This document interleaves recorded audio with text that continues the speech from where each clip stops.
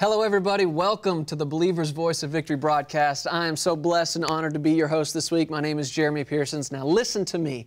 We have a week of broadcasts ahead of us that you do not want to miss. Let's pray or get right into the Word of God today. Father, we worship you today with this broadcast, Lord. We bring this mm. before you and we honor you with it, Father. I'm asking today that as we get into your Word, as we come boldly before your Word, I'm asking you that you would grace us and grant us eyes that see mm. Jesus, ears that hear His voice, the mm. voice of our Good Shepherd and hearts that understand who we are in Jesus and who Jesus uh, is in us. We worship you and we praise you today. In Jesus' name, amen. Now, listen to me. You and I are in for it because today on this broadcast and all week long, we are blessed and honored to have Pastor Joseph Prince, all the way from Singapore, right here on the Believer's Voice of Victory. Welcome, oh. sir. Thanks for having me. Uh, it's a blessing. And thank Brother Copeland and Sister Gloria for this honor. Absolutely. Um, I, I, just got to speak with my grandfather for a few minutes, not you know just a few days ago. Told him you were in town, and I said, I, have never asked to do broadcast or never asked to host anybody, but I, I, felt like the Lord was in this, and I just said, mm. Pastor Joseph's here. I know he loves you. I know that he loves your ministry. And you guys, I, I wanted our uh, viewers and our partners to know that you guys have been partners together for yes. a long time now. Yes. And uh, this has been a ministry I know that's been a blessing to you, and I know that your ministry mm-hmm. has been a blessing to them. So he said, go for it. Okay, let's go for let's it. Let's go for it. so, all this week on this broadcast, we're going to get into the Word together. Uh, and those of you who don't know, uh, maybe you've been hiding under a rock somewhere for the last several years, but Pastor Joseph uh, pastors New Creation Church in Singapore. Uh, this outstanding, growing, thriving church. Uh, and I, I, wanted you to tell us a little bit about the church, and then, too, we've got some pictures of the new building that the Lord has just blessed you guys with, and, and let us know what's going on there. Well, last Christmas, uh, we moved into our new building. Uh, took us about five years to build that building. It's called The Star and uh, we work together with uh, a retail site. Uh, so there's shopping on the lower floors, but we're on the upper floor, and we have the whole auditorium. Mm. As you can see on the screen, this is our building, uh, the Star Pack, Star, Star Performing Arts um, uh, Convention Hall for acts that come through Singapore. So we can lease out as well wow. during the weekdays and make money off the world. It's a beautiful place, yeah. Let's look at some of these pictures. I wanted them to see. Uh, go ahead and scroll through those, guys. I want you to see. What, what are we looking at here? I guess this is still the outside of the building. and Yes, this outside a, of the building. I think people look at this and think, is, is this yeah. an actual place? Yeah, it's an actual place. it's from the future. It is on location. It's this beautiful. is by night. Wow. All right. And, and, and this, this, is, is the, start, the, auditorium itself. Praise Jesus. Okay. Look That's at that That's my place. congregation. This is a, our Christmas celebration. Wow. Yeah. Wow. Oh, I miss home already. I know you do. well, we are very blessed to have you today, sir. I know as we tape these broadcasts, you guys have been in the States for the last month. One month, yeah. A month. And uh, I know you've had a fruitful time here. Yes. And you're probably ready to get home and see your beautiful yes. wife and your two and my, beautiful kids. My one and a half year old, he's, yeah. uh, he's picking up words that uh, I missed when I was here and there's like a growth spurt. You know what it's like, you know, yeah. at this age, and uh, I, am I'm waiting, ready to go home, man. Well, almost, but you're family. not home. Last yet. burst of fire. Let's do right it here. right here, Pastor. Uh, I I've, I do want to say this before we get into the word. I know you get a lot of testimonies from a lot of people. Uh, I was reading your latest book, The Power of Right Believing, and there's so many testimonies, one right after another. But uh, I've never really had the opportunity to share with you or to say publicly my personal testimony uh, of how the Lord has impacted my life, my wife and I, Sarah, our family, our home, our ministry, mm-hmm. through what He's done through you. And it's, um, it's something that has really shaped the course of our ministry. In 2009, I was getting ready to preach. My dad was traveling and he asked me to preach on a Sunday, and I prepared a message and I sat back and looked at it and thought, well, that's boring. And I knew if it bored me to prepare it, then it was going to bore the people mm-hmm. that had to hear it. And um, just in, in a time of preparation that day, I heard this come up in my heart just preach Jesus. Beautiful. I didn't even really know what that meant. I thought, okay, well, that sounds great. Well, what, what do I say what, about this or about that? And he said, mm-hmm. just preach Jesus. Mm-hmm. And I was, I was alarmed at how ill prepared I was for that. Mm-hmm. And, but the Lord, you know, He's gracious and He's merciful and He helped me with that. And what I thought was a message I realized was my wife and I, Sarah and I, we realized it was our ministry. And we found ourselves in Colossians chapter 1, where we said, Him we preach. And that's what we uh, set out to do. And it was just a couple of months after that. Mm-hmm. Uh, of course, I was familiar with you, but wasn't really listening much. And we came across you on television, and that same thing rose up on the inside. I said, That's it. That's what I'm supposed to be doing. Mm-hmm. Just preach Jesus. And I asked the Lord, Well, what about, what about preaching healing? Mm-hmm. He said, Preach Jesus and watch what happens. Amen. What about preaching prosperity? He said, Preach Jesus mm-hmm. and watch what happens. So, can you imagine what we're going to talk about on this broadcast this week? Yeah. Jesus. Jesus. Will you get us into the Word, sir? Yes. Let's do um, it. You know, I, I think that one of the best places to start off in the Word of God is Romans chapter 5 and on the power of right believing. Uh, when we come to Romans 5, we find there, I mean, Romans 5 is precious. Um, it has so many truths that we are still digesting and feeding on. Sure. I think probably uh, even our lifetime here on earth, we're not able to finish off everything that's in Romans chapter 5. If you look at Romans chapter 5, verse 19, it says, For as by one man's disobedience many were made sinners, so also by one man's obedience many will be made righteous. Okay? Now, we see here that sinners are sinners not because they sin.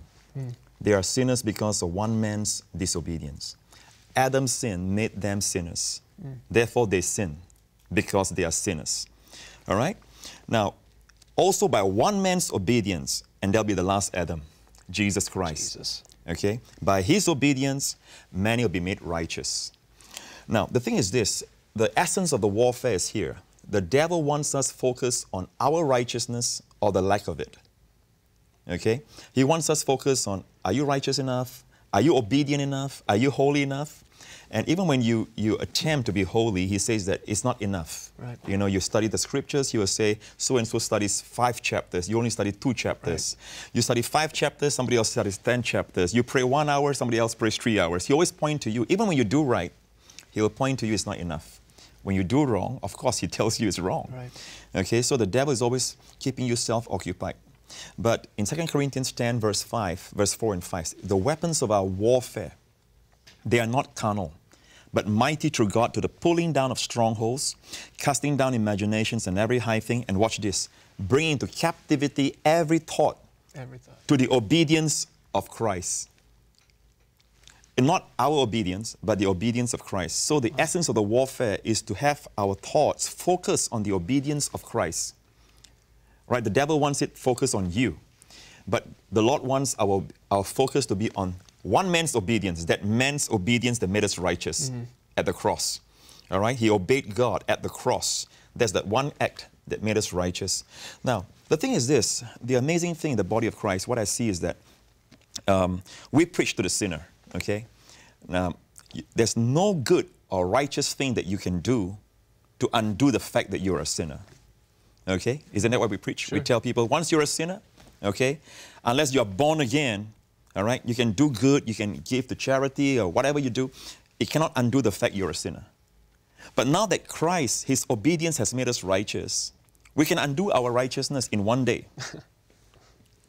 All right? In other words, uh, you can be righteous in the morning and be unrighteous in the evening and then get yourself re-righteous before night falls, you know, and, Something's and something right. is wrong. Yeah. And we are not even talking about much more yet. We're not even talking about much more yet. We're talking about Jesus, the second Adam and the first Adam on, on the same ground, mm. on equal, on equal footing. Something is wrong. We are not giving a value to the work of the second Adam. Yeah. Where we exalt the work of the first Adam. What he did was so powerful, we cannot undo the fact that we are a sinner. But what Christ did, we can undo it. Mm. So I think that it all must start here to realize that obe- uh, righteousness, now the Bible talks about obedience. I believe in obedience, but Paul talks about obedience in chapter 1 of Romans mm-hmm. and the last chapter of Romans. He talks about obedience like this obedience to the faith. To the faith, yeah. It is right believing. Uh, it's not this legalistic obedience. In fact, when you have right believing, for example, you believe that it is that one man's obedience that made you righteous, okay? That is right believing. And right believing will always produce right living. Yeah. Just preaching right living from the pulpit does not necessarily Which we're good at. produce. Yes. Yeah. And, and I've been, I, I, I grew up in a church where I got saved when I was, I was very young. Uh, my aunt brought me to Christ. And, and ever since I was saved, I hear sermons, a lot of sermons. In fact, I can remember hearing a sermon about the finished work. It's all about what you need to do, Right. all right? It's about right living. But I can see that in, in the pews, there's not much right living. Sure. But people are sincere. I really come from a perspective where I believe, uh, Jeremy, that the body of Christ is not looking for a way to sin. They are looking for a way out of sin. That's right.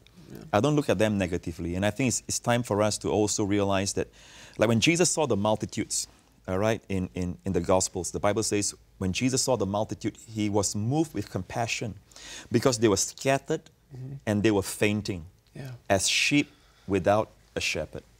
Whereas when we look at a multitude, what do we see? They are scattered because they lack, they lack discipline. They are fainting because uh, they are just disobedient. You know what I'm saying? Is that how we look at the multitude? Jesus didn't look at them that way. He saw them as sheep without a shepherd. And then the Bible says, and he began to teach them Yeah. Many things. Coming out of compassion for them rather Yes. than anything else. A- And, feed them, don't beat them, yeah. you know. So that's where I, I come from, from Yeah. that perspective, uh, one man's obedience. Yeah.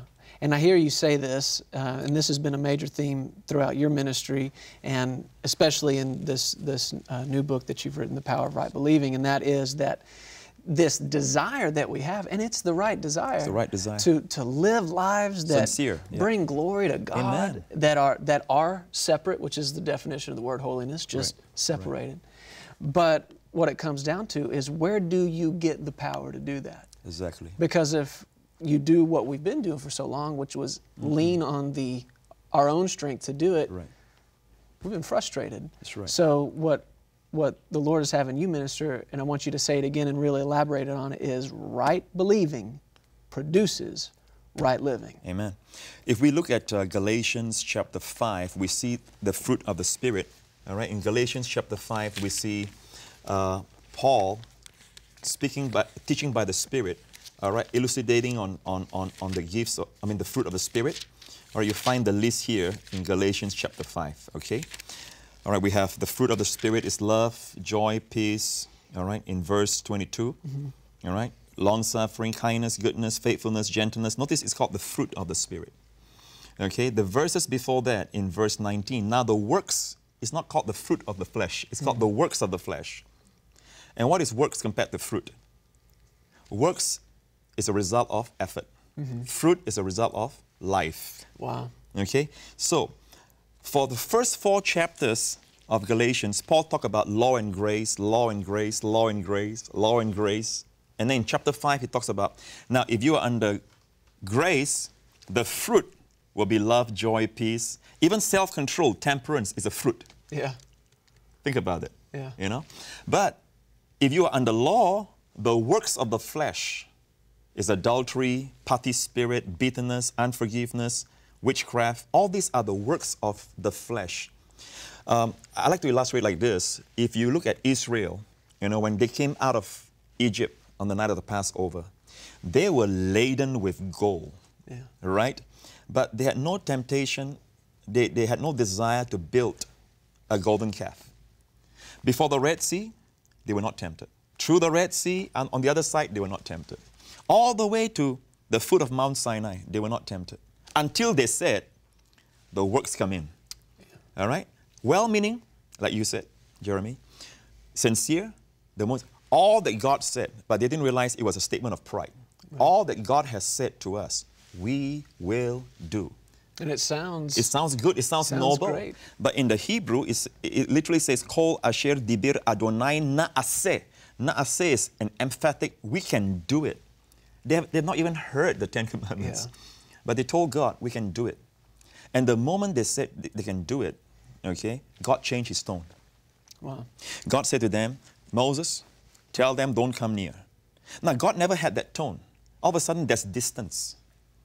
You see, from, from Egypt, God was with them through the Red Sea and all that in a pillar of cloud by day, in a pillar of fire by night. But all of a sudden, God changed his tone. Why? Man has presumed on his own righteousness. Wow. And God brought Israel out not because they were good, but because he was good.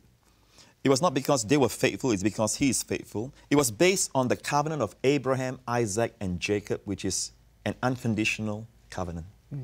Okay? But at the foot of Mount Sinai, in essence, when they said those words, all the Lord says, we can do it, they were actually exchanging covenants. It was almost like God, don't, don't bless us, don't assess us anymore based on your goodness, but our goodness. Yeah. No longer on your faithfulness, but on our faithfulness. We can do it. And the moment, the moment they did that, God changed his tone. And the next chapter, God gave them the Ten Commandments. Okay? What's the result? You see a golden calf. Yeah. They had the gold all the time. I mean, Egypt gave them the back pay Yeah. of all the years of slavery plus interest. All right? But notice they never used that gold in this manner. Yeah. But the moment they, they put themselves under law, the strength of sin is the law. Yeah. 1 Corinthians 15 56.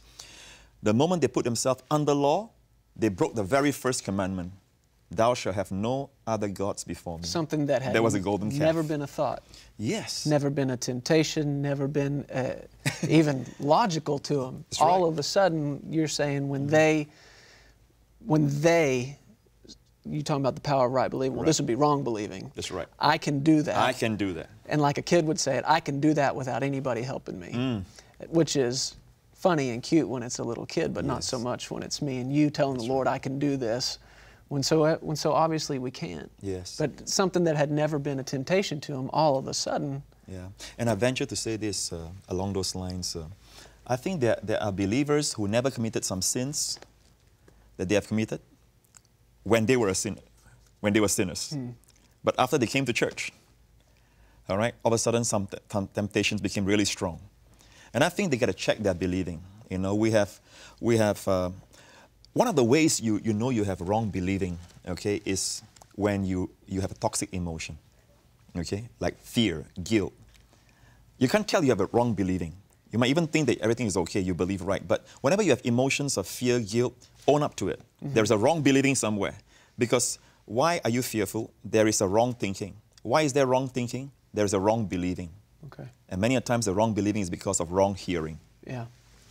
In going through this book and listening to uh, what the Lord's saying through you, um, you ha- you help identify um, things that we need to see the right way, seeing the way God sees, and then seeing what He doesn't see. Yeah. And I, as these broadcasts continue through the week, I really want us to get into that. But um, one of the foundation scriptures for that is Romans chapter 12, verses 1 and 2, that talks about not being conformed to this world, but being Right. transformed. Yes. Of course, conformed just simply means taking on an outward appearance that's not reflective of what's going on inside. But transformation is letting the inside come out.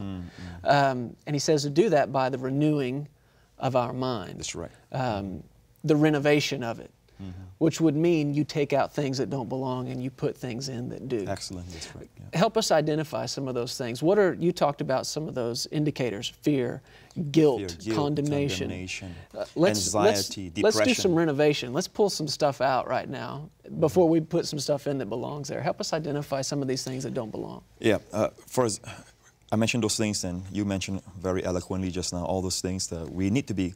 You see, uh, this can being conformed to the world is not your, your dressing or your, the length of your hair or your makeup, how thick it is.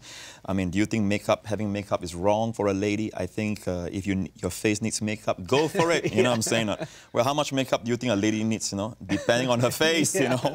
you know Let's you know. make no yeah, rules or laws. Yeah, so, so the world is not that. The world is the pride, the lust of the eyes, the lust of the flesh. And notice what the, what the Word of God says about the world. Be not conformed to the world. It says, it says that love not the world, nor the things that are in the world. If any man love the world, the love of the Father, mm-hmm. not the love for, the For it, Father. right, right. The love of the Father is not in him. Wow. And most people think that when people, you know, they are, they are conformed to the world is because they don't love God enough. But what God is saying, you know, if you read, read it right, is love of the Father is not in him. He doesn't know how much he's loved. Yeah. No one has been preaching to him. No one has been telling him how much he's loved. Now, we all preach the love of God, but I think we have not plumbed into the depths of the length, the breadth, the height. Yeah. And our sermons is always like a mixture. Yeah, God loves you, but. God loves you, but. Imagine doing that to your wife. You know, it's easy to love Sarah, but imagine doing that to anybody else, you know. But, uh, you know, it, it's like there's never a, sec- a sense of security in that relationship. Sure. Okay? So if we give security to our people, I believe they will not love the world. Yeah. That's what I feel like needs to come out, not just in these broadcasts, but now in the world, is that it's you are so deeply, madly, passionately loved by the Father. And it sounds so simple, and it is so simple. Yes. It's beautifully simple. Uh, but that's when fear gets driven out. That's what I want to happen uh, in these broadcasts as we continue this week. Going to get into the Word of God, but there's one thing I want you to walk away with more than anything else, and that is this you are loved by your Heavenly Father. You are loved Amen. by the Lord Jesus. And that's what I want us to really begin to dive into because that's going to rip out some of those ways of thinking that don't belong. Amen. Um, what would you say? We have just a moment left on this broadcast. What would you say that would sort of get us into where we're going from here? We're, we're taking out things that don't belong, putting things in. We want to see the way God sees. How would you wrap this up for today? I think we're going to talk about, uh, you know, many things during this week about how God is not angry with you, and that, Yeah. that is not being emphasized. And the sense of God's love, for example, is tied up with the fact that there's a lot of wrong believing in so many areas, you know. And I find that uh, we, we say we are word people, but then when these words are being expressed, even grace itself, it's amazing how we, we are actually, like I think Brother Jerry Savelle said it very well, we are favorite word. we need to be open this coming week to all these new aspects of uh, learning. You know, I'm still a, a, a learner, you know, and, and so are you. Yeah. Let's learn as much as we can about the grace of God because the new covenant is not about us, it's all about Jesus. About Jesus. Amen. And I'm so glad for that. If it was about us, this thing would have been over a long Over time a ago. long time ago. Listen, it's not about you. It's not about what you've done or haven't done. It's about Jesus, what He's done, and do you believe what He's done? We're finding out some things from the Word of God about, number one, who God really is. You know, you got to let God define Himself and not let tradition or some other man's opinion define it, but then find out who you are in Him. Find out who you are in Jesus. And we, uh, we started yesterday's broadcast by looking at Romans chapter 5, which, which I, I love Romans chapter 5. I heard uh, Judah Smith say it like this He said, I don't do drugs, I do Romans chapter 5. and uh, somehow the Spirit of God got the entire New Testament in one chapter. And talking about um, elevating the work of Jesus. Amen. It does not belong on the same level as what Adam did. Right. It, but it, it is much more. Yes. What God has done for us, in us, is doing through us, His grace is much more. Yes, than what much sin more. did to man. Amen. And um, I, I- I believe that there's so much that needs to be said about this. And, and my grandfather said something not long ago. I heard him say it in a meeting, uh, talking about some of these things. He said, "You know, this this revelation of the grace of God, it's it's been in the body of Christ.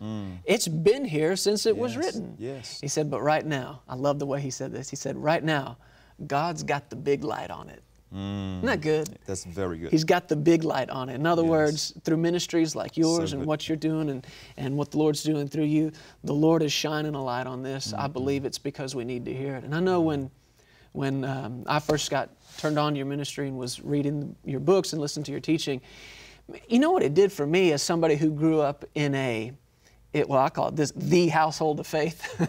it it came in and just reinforced everything I believed, mm-hmm. um, and what it what it helped me with was said, okay, that's why I believe mm. this. the why you believe. That's why I can lay mm-hmm. hold of the things of God and claim it for my life and my family and my mm. marriage, my ministry. And that's what I believe a revelation of mm. who Jesus really is. When the Yes. when the light comes on and the cover comes off and you see him, we will be like him Right. when we see him as he is. And uh, sir, I, I'd ask again today that you just get us into the Word of God and minister to the people watching this broadcast all over the world, whatever the Lord would have you say. Okay, let's go back to Romans chapter 5. Let's do it. In Romans chapter 5, there is a verse that I want to call your attention to, and this is the verse, probably the number one verse that I think that is uh, still neglected, you know, and, and such a powerful truth built on these power twins, I call it. All right, in Romans 5, verse 17, and my book, uh, The Power of Right Believing, has so many testimonies of people, all right, who put into practice this one verse, okay? especially when they are in addictions to depression or eating disorders, anxiety attacks, you know, um, pornography. We have many testimonies of, of people, all right, who suffered from um, uh, eating disorders and addictions to pornography, especially, who found freedom. Wow. Okay? And how they found it is this I teach that while you are still in bondage, all right, confess, I am the righteousness of God in Christ. Praise God. You see, when, when, when there are symptoms of lack in our, our bodies, okay, us- uh, in our lives, we confess, my God supplies. Right. All right, there are symptoms in our bodies, we confess, we don't confess the symptoms, we confess by His stripes, I am healed. When we sin, we confess our sin. Right. We never rise above it. As in everything, all right, everything in the Christian life works by faith. Okay? When it comes to sin, we're not using our faith. We're confessing what's there. And I have a whole teaching. I know that, uh, you know, uh, for some people it's a huge controversial issue and all that, but to me it's very simple. All right? Um, when you confess uh, the righteousness of God, who Christ has made you, it honors the Father. It glorifies Jesus because of his finished work. Yeah. Okay, so I have people that we, we teach uh, from Romans 5:17. While you are still smoking, they'll still do it. Yeah. While you're still watching that pornography, they'll still do it and not tell their pastors about it. Confess, I'm the righteousness of God in Christ. Now, Jeremy, the last thing you Right want to do, middle of it, yeah. right in the middle of it, the last thing you want to do while you're smoking is to feel like a hypocrite because the devil's going to come and tell you, What did you just say? Yeah. You know, you are such a hypocrite. Because he does not want you to say that. But I've got so many testimonies in that book, all right, that where they confess that they are the righteousness of God, of God in Christ. People addicted to pornography, lifelong habits, you know, broken. Just not matter of overnight, but uh, many of them came on confessing, and they say that, Pastor Prince, just let you know, I was addicted to pornography. One young man in New York said he was uh, bound by pornography since the age of 13. Wow. And, and after he became a believer, he's now in his 20s, he said that he's still bound by it, but uh, he used his willpower as much as he could to overcome it. It grew worse. Yeah. But he says, the moment I confess I'm the righteousness of God in Christ, I began to confess again and again, even in the midst of it. Yeah. Just let you know. And many of them will share things like, after uh, a few months, after a year of not watching pornography, then they wrote to me, this thing is real. Wow. I- I'm a living testimony that grace is the antidote Yeah. to sin. And it's a desire from within. People look at that and they think, how, how could there be that kind of power in just saying something like that? But the word confession itself just means to say the same thing as. Homologeo. Say the same Just say thing. the same right. thing. And, it, and you have to realize if there was no power in confession, then none of us would be born again. Hmm. Because that's how we were born again. That's we right. said the same thing about Jesus Right. that God said about him. Amen. God gave him that place as Lord, and we said the same thing. Well, that's the same thing you're doing in the middle of that sin. right. I'm going to say about me what he has said about me. Yeah. And it's the power of agreement. And it's called righteousness by faith because, you know, there are times you wake up in the morning and you won't feel righteous. You feel Yeah. like some goose, you know, or some, you know, you feel unclean. Sometimes you wake up feeling unclean. You might have some bad, you know, dreams or whatever, but that's a time to confess by faith. I am the righteousness of God in Christ. And we've been talking about the verse. Let's, let's read that verse in Romans chapter 5, verse 17. It says, For if by the one man's offense we know that this is Adam's offense, death reigned through the one.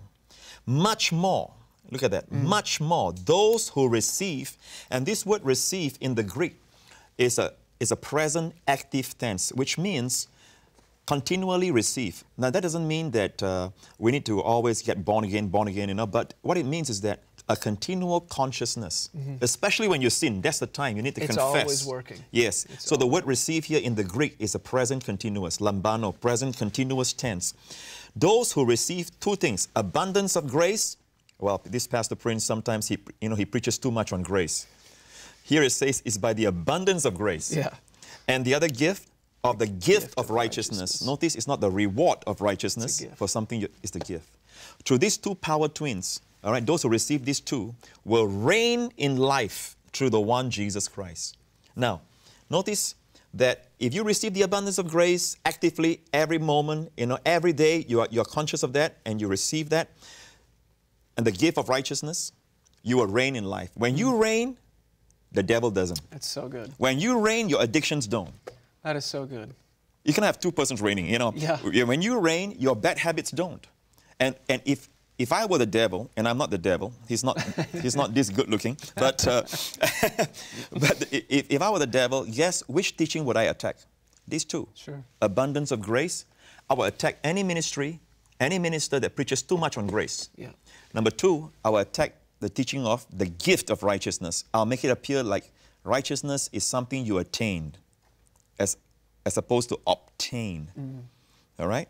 And I will attack these two because I know that if the body of Christ ever wakes up to these two gifts, Yeah. that's it. They will reign over me. Wow.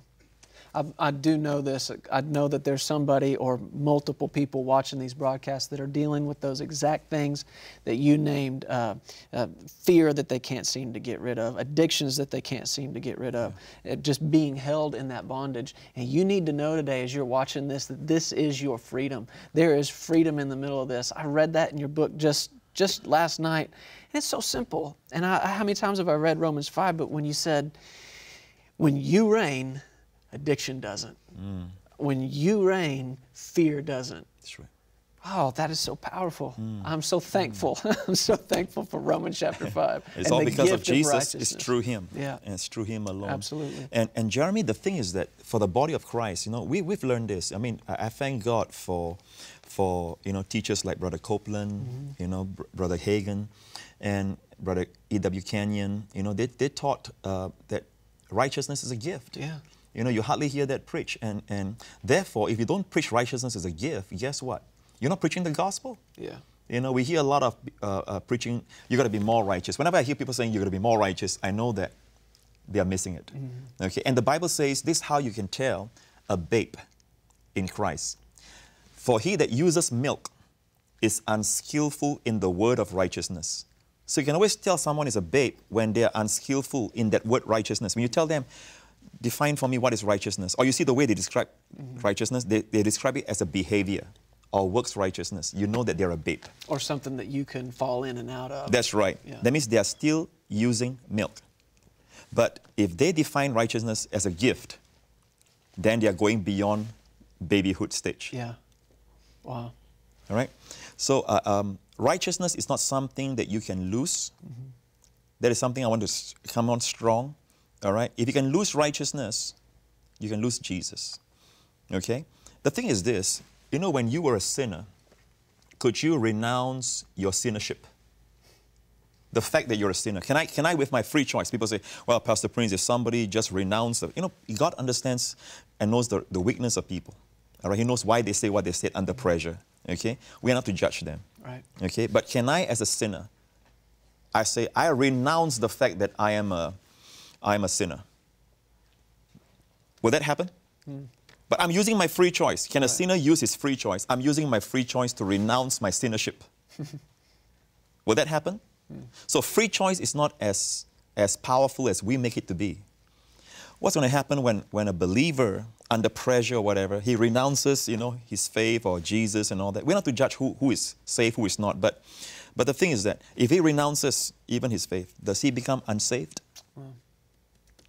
All right? So if he can, then what Adam did is more powerful again than what Jesus did. It's bringing what Jesus did back down to that level. Back down to that level. But this said much more. Yes. Much we- more. and we have not even plumbed the depths of the on equal footing. Yeah. Let alone the much more. How can we teach on the much more? It is much more, Jeremy, because of the value and the preciousness of that one man. Thank you. It is like like God paid, like, like our sin is like, for example, one million debt, one million dollar debt to God. God. You know what God did? God paid for us the debt, but He gave us a hundred billion dollar debt. He paid off our one million debt. Because the man, if you know the value of that man, all right, he's an overpayment Yes, he for all our sins. If there are other planets, other universes where there are other sinners, his blood still avails for them. That's why he can die for all those who lived before he lived, before he walked on the earth. He could die for all those in the future and beyond Yeah. because of the value of that one man, Christ Jesus. And if my debt's paid, why do I need to keep paying on a debt? Yes. And, and, and you know what? The, the amazing thing I find in my life is that uh, when I know I'm forgiven as it is, I can be honest about my sins. You know, sometimes I drive down the road and I get a little bit impatient with the, you know, and I, No. and, and, and oh, I do, yes, you know. Where's Sarah? Okay, any, anyway, the thing is this, um, you know, and, and, the thing is that I used to be defensive. My wife says, you know, darling, you're driving a bit too fast and you're a bit impatient. And I say, I'm not impatient. I'm a man of God. I'm a man of rest, you know. But the thing is this, once I realized all my sins, are, those are the early days in my, in my you know, sure, uh, marriage. Time ago. Long, yeah, time, long ago. time ago.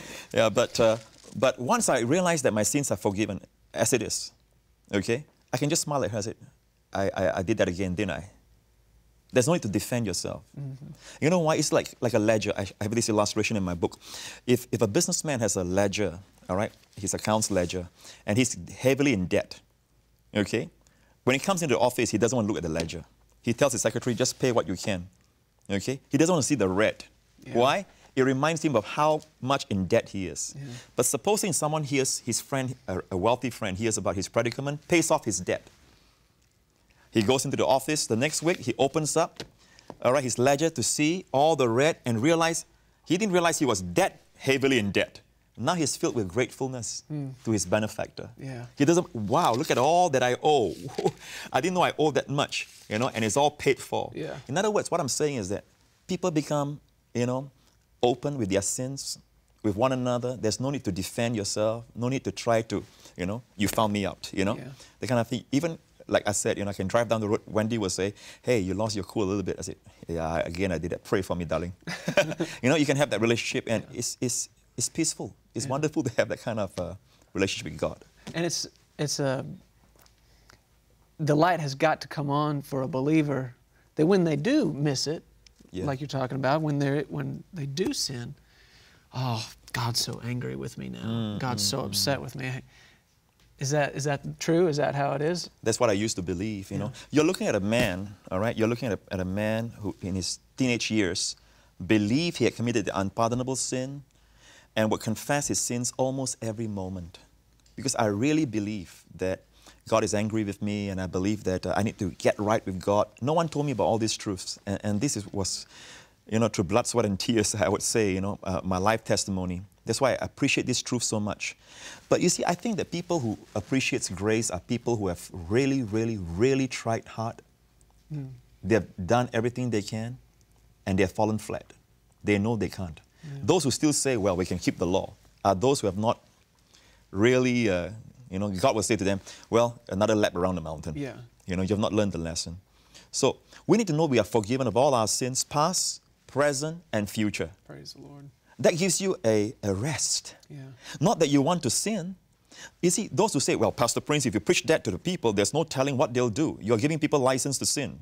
You know, Dad Hagin, your, your dad will always, your granddad will always yeah. say, you know, yeah. uh, you don't have to give people license to sin, right? Or sinning before they have yeah. license. Yeah, amen. So the thing is that Jesus didn't believe that. Obviously, Jesus taught, all right, that that woman who, who wept at his feet, and he says, Simon, Simon was a Pharisee that invited Jesus. You know, there were two, two uh, debtors that owed a creditor. One owed a thousand, one owed a million. When they both could not pay, he frankly forgave them both. Who would love him more? Mm-hmm. He spoke his language, you know, that Pharisee had dollar signs in his eyes. Oh, sure. He spoke his language, so he says, I suppose the one who is forgiven more. You see this woman? In essence, he's saying, I came to your house. You didn't love me much. Yeah. You didn't give me the basic courtesy even. You know why? You think you're forgiven little. You see this woman? You know why she loved me much? She knows she's forgiven much. Yeah. So Jesus, Jesus believed and taught, all right, that those who know they are forgiven much will love him much. Yeah. So if people know that they are forgiven of their sins, past, present, and future, it will make them licentious. It will yeah. make them fall in love with Jesus. And when you fall in love with Jesus, you fall, in, fall out of love with sin. yeah. Talk about this. I heard you mention this recently. You talked about what happened in the life of Peter from the time he met Jesus to those last moments of Jesus on the earth and how he responded to him yeah. differently. Yeah, one of the first times, you know, I, it really uh, uh, blew my mind when I saw this, you know, and I saw this when one of my trips in Israel. Uh, I was with my, my, my, my, pastors and I was just sharing with them how I saw this. Uh, it was amazing because we teach that grace, you know, Pastor Prince, grace is wonderful, amen. You know, grace is basic, it's for the new believers. But we're going to go into holiness as if holiness is university grace is kindergarten. Right. You know? But when, when Peter met Jesus, one of the first times he met Jesus, Jesus says, launch out into the deep. And you know the story. He, he got a net breaking, boat sinking, load of fishes. He didn't know the man that was in the boat. He was awed. He fell on his knees and turned to Jesus and says, Depart from me. I'm a sinful man. I'm which, a is, which is a strange sinful man. response. I mean, Yes. this man just filled your boat full right. of fish. So, in other words, uh, a sinner or one of the first encounters of Jesus, all right, the basic, the kindergarten response for anyone, for that matter, is always the aspect of his love? No, his holiness. Yeah, sure. Now, the Lord is holy, thrice holy, but he wants us to know him in the aspect of his love. All right, now watch this. Three and a half years passed, okay? And Peter denied knowing Jesus, all right, on the night of the passion that Jesus went through the sufferings and all that. He, he, with cursing and swearing, he denied knowing Jesus, okay? Now, the Bible tells us in, in Luke that the disciples said when Jesus rose from the dead, the Lord has appeared to Simon. Now, that interview, that personal, private moment which Jesus had with Peter is not recorded for us in the Gospels. It's veiled from us. Hmm. The Holy Spirit didn't seem fit, see, see fit to unveil to us that private moment. But the Lord appeared to Simon when he rose from the dead. All right? Now, obviously, Jesus forgave him. Now, watch this. Two weeks after that, after he rose from the dead, they were by the shores of Galilee. They were fishing again. And the Lord says, Children, have you caught any food? They say, No. Throw your net on the right side. The right side is always a place of righteousness, Yeah. you know, my right hand of righteousness. And they caught so much fish. Okay? Then John recognized, It's the Lord. And Peter jumped into the water to go to Jesus. Yeah, Now, which aspect of the Lord now that he saw? his love. His love. If not, he'll be jumping the other side Yeah. of the boat. Yeah. You know? So maturity is as you grow in the Lord, the more of his love you see. What's the basic response of a sinner if an angel appears? It's throughout the Old Testament. Get away. Get away from me. Yeah. Depart from me. I'm a sinful man. You don't have to teach a sinner God's holiness, but you have to teach people Yeah. the love of God. Yeah. No sinner will say, Oh Lord, thy loving kindness is better than life. No sinner will say that. They will, they'll be frightened. Yeah. You know? So we, we do I have to teach holiness? Yes. But let's not have this idea that holiness is deep, grace is basic. It's the other way around. The love of God will never know at whole eternity to learn the length, the depth, the breadth, the height of the love of Christ. And we will drive ourselves into the ground. We will literally kill ourselves trying to be holy apart from a revelation of how much He's loved us, being strengthened by the grace Amen. to do what He's called us to do. Um, there's some things we've got to get into in these broadcasts. I know we're, we're, we're getting so close. Um, as we go on tomorrow, I, I really want to take that next that next step into this, um, something that you and I've been talking about privately here, and that is uh, we know who our Father is, but do you know who your mother is? We have been sitting at this table with Pastor Joseph Prince, all the way from Singapore. Sir, thank you so much once you. again for being on these broadcasts. This is a longtime friend and partner of this ministry, Kenneth Copeland Ministries. I know my grandparents were in your country Yes, 2005, 2005, I think, and uh, you were a strong support to them in that meeting, and I know they've never I forgotten. enjoyed it. having them. And of course, they love you and they love your ministry and this, this unrelenting desire that you have that people see Jesus. And I, I can tell you too, sir, personally, that when, when I sit and I listen to your ministry, uh, I quit looking at you. I hope you're okay with that, but I just look at Jesus. Amen. I just see him and I'm thankful that's been a blessing. That's what I desire above everything else, that people see Jesus, fall in love with him. Absolutely. It's not about. Joseph Pin or Jeremy Pearsons, you know, it's not about, it's about, about us, it's about him. Yes, it is. That must be why my, my son says he doesn't want to be a preacher like daddy. I, you've heard me tell this on this broadcast before, but I asked my son, who's now three, and he was two at the time, I said, Justice, you want to be a preacher like daddy? And he said, No, Joseph Pence. and uh, I guess he was having a hard time with his R's at that point, Yeah. but he, he knows you, and even as a two year old, just we have it on in the house. He's just Oh, soaking precious. it in. And uh, your, your little one is not too young to be around the Word of God, to be around the anointed Word. Uh, Jesus began growing in the grace on his life from the very beginning, and our little ones should be doing the same thing. Mm-hmm. That's right. We closed yesterday's broadcast by talking about something that I know you're met with a lot when people. I- I don't think it's by anybody that's actually heard you preach. Yep. I think it's by people who have heard from others uh, something that you've said or or something they thought you said. And I know that's something uh, my grandfather, even 40, almost 47, well, over 47 years ago now, started preaching so strong on faith in God and faith in Jesus, faith in the Word. And uh, people almost immediately started talking. It was, well, Hyper faith. Oh yeah, and then saying all this stuff, but you know what it did? Yep. Is it made people run out there and get these Yeah, tapes? What is it. I'm not supposed to be listening to? Which is kind of funny because that's what the law will do to somebody. That's right, Uh, you tell a little kid, "Don't go on the street. Don't go on the street. Don't Yeah, go on the yeah, street." Well, what do they want to do? They want to go in the street. right, yeah. But the same thing has happened, I believe, to you Mm-hmm. in some cases in your ministry, where um, people have heard something that they thought you said. Well, they say, "Well, he's he's just preaching a message that you know Mm-hmm. anybody can go out there and sin." Um, I, and I've heard you say this too. Why don't you go ahead on this broadcast and just tell us where you stand on sin, sir? I always say, I, Joseph Prince, and I'll rattle off my serial number, you know, my national ID in Singapore, and I'll say that I'm categoric, categorically against, vehemently against sin. yeah. Okay? Sin will take you farther than you want to go, keep you longer than you want to stay. It will cost you more than you want to pay. All right? Sin destroys. Yeah. There's no doubt about it. All right? I am for holiness.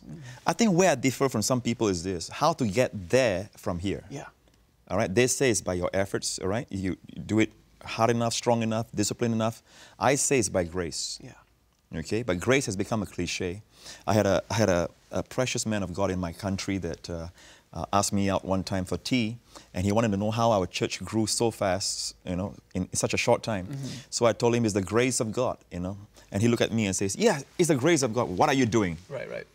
You know, he wants he wants the formula, but the grace of God is no longer an answer for many people. Yeah.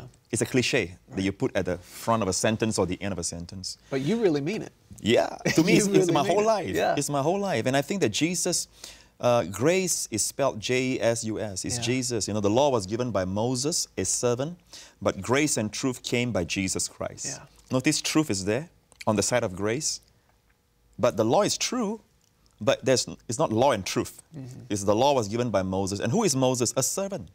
Who is Jesus? The Son. And, and, and we, we esteem the servant greater than the Son. Yeah. You know? So that, that, that is the thing. But uh, when it comes to holiness, we, we, we touched on this uh, last night, uh, yesterday, uh, how when Peter first knew Jesus, he knew him in the aspect of his holiness. And rightly so, Jesus is holy, and, and, and he's thrice holy. But his holiness is such that it's holiness without fanaticism, okay? It's conviction without intolerance. Or he could move among the, the, the sinners, they could touch him, and they could receive. Yeah. All right? It wasn't this holier than thou. But the one aspect that the Lord wants us to know Him more than anything else is His love. Yeah. And that will take an eternity for us to know. Because when, when Peter, all right, in, in, in the two weeks after his, his resurrection, Peter was fishing with uh, John and all the rest. And, and Peter knew Jesus in his love now because he's been forgiven of denying Jesus with cursing and swearing. So we touch on that. And, and I want to go to further in Galatians chapter 4 today. Uh, we look at Israel now. Uh, when Israel was a child, look at verse, verse 1 of chapter 4, Galatians. Now I say that the heir, as long as he is a child. Now in the Greek, child here is the word nepios. The word son is huios. Huios is full sonship, mature sonship, where you inherit everything. But as long as, as he is a child, a nepios, an infant, he does not differ at all from a slave, though he is master of all. Okay, though he's master of all, but he does not differ from a slave. Imagine you have a, a domestic helper at home who is a friend, okay? But that friend is not your heir. Justice is. Yeah. But justice cannot, cannot fly your plane. He cannot drive your car. He cannot, uh, you have a, a, a beautiful car, you know, uh, it's horsepower, I mean, Lamborghini or whatever. Hmm. But he cannot, he cannot, he cannot drive it. I don't have that. He's He doesn't just have it. I'm just prophesying here. Yeah, that, I right? receive it. That's and, fine. And, but- and the thing is this, but, but justice cannot do that, right? Because justice is still an infant. yeah. But is he the heir of it? Yes. So when Israel was an heir, the Bible says, all right, God put him under guardians, verse 2, guardians, guardians and stewards until the time appointed by the Father. So guardians and stewards is the law and the prophets, because the entire book of Galatians is talking about law and grace. So when Israel was a nepios, God put Israel under law, okay, the Ten Commandments. All right? Now, even so, when we were children, when he, he mentioned we here, here in particular in this passage here, he's talking about the Jews. He's identifying with the, his Jewish hearers. All right? When we were children, when we were nepios, we were in bondage under the elements of the world. The word elements here is stoikion, which is the ABCs. Greek word for ABCs, elementary. All right, kindergarten. Okay. We were under the elements. The law is elementary. Wow. Okay? But when the fullness of the time had come, God sent forth his son, born of a woman, born under the law, to redeem those who were under the law, that we might receive the adoption as sons. Wow. Now, the word adoption is not there. Literally, it is placement as sons. And the word sons here is not no longer nepios, but huios, full, mature sonship. Jesus brought full, mature sonship. The moment you are born again, you are full, mature son in terms of your position in Christ. Yeah. Okay? And that's why we can cry, all right, Abba, Father, which is daddy, yeah. literally daddy. And, and the thing is this, it's interesting when people say that grace, grace is wonderful, grace is basic, you know, we need to know grace. Young converts, you know, need to know grace. But let's go into holiness, you know, as if holiness is a deeper stuff. But actually, the thing is this, when Israel was under, when Israel was an infant, a baby, God gave them the law for 1500 years because God wanted them to know, all right, by the law, no one, no one can be made righteous. By the law is the knowledge of sin, not, not righteousness. When the fullness of time came, God sent His Son and brought grace. So, which one is mature? All right? Grace gave us maturity, huios. Law made Israel mm-hmm. an infant. You know, when, when Jessica was young, her friends would come over to my house, okay? And um, um, I would tell them, don't go to the kitchen. Don't play in the kitchen, all right? Don't touch the gas stove. Yeah. Don't play with the kitchen knives. All sorts of laws, okay? Yeah. Now, if you come to my house Okay, and I say to you, Jeremy, don't touch the kitchen, kitchen knives. All right, don't don't don't play with the gas stove. You know, I'll be insulting you. Yeah. You know what I'm saying? So, which is maturity? When Israel was an infant, God put them under law. We have it backwards. Yeah. Wow. We have to identify. We know who our Father is. Amen. One of the things that I believe has been so strong and in a, rev, a, rev, excuse me, a revelation, the way it comes through you is identifying who your mother is.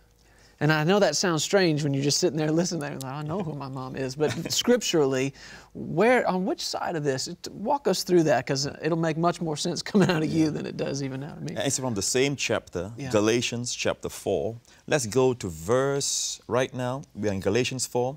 Let's drop down right now to verse 21.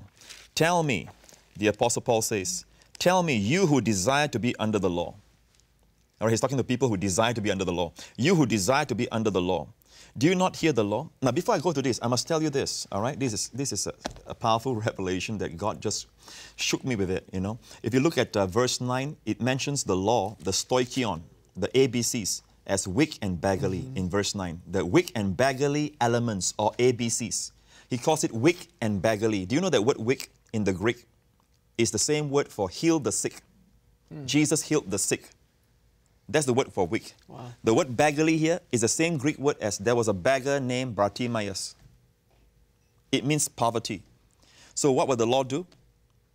It brings you to a place of sickness, all right, and poverty. Nothing wrong with the law. Yeah. All right, but it'll keep you a slave. Yeah. Nothing wrong with the law. The law is holy, but it cannot make you holy. The law is just, but cannot justify you. I thought I'd just put that in. Yeah. Okay, but look at uh, uh, what we talked about just now. Tell me who desire to be under the law. Do you not hear the law? It is written that Abraham had two sons, the one by a bondwoman, which is Hagar. Hagar was from Egypt. All right, the, the other by a free woman, and we know that's Sarah, Abraham's wife. But he who was of the bondwoman of Hagar, which is Ishmael, he was born according to the flesh. Notice how God defines the flesh self effort. So Hagar, uh, uh, excuse me, Ishmael was born of Hagar when Abraham still had strength. Yeah. Okay? And he of the free woman true promise, which means by the Spirit. All right? Abraham could not perform anymore, if I can put it that way. He cannot have that strength, and God came in. Yeah. And Isaac was born. So watch this. Which things are symbolic? These two women, they are symbolic. All right? I didn't say it, the Bible says it. For these are the two covenants, the old and the new. The one from Mount Sinai, which gives birth to bondage, which is Hagar. The Ten Commandments is from Mount Sinai. The laws are from Mount Sinai. And Mount Sinai is Hagar, that slave girl. And it produces what? Bondage. For this Hagar is Mount Sinai in Arabia and corresponds to Jerusalem, which now is, and is a bondage with her children. But the Jerusalem above is free, who is the mother of us all. Mm. That's Sarah. Okay? So, which are you? All right? Which, the viewers that are watching, I like to ask the question Are you my brother? Or are you a brother from another mother? Yeah.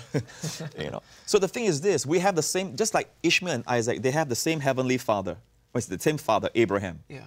So we have the same heavenly father okay? But they have different mamas, okay?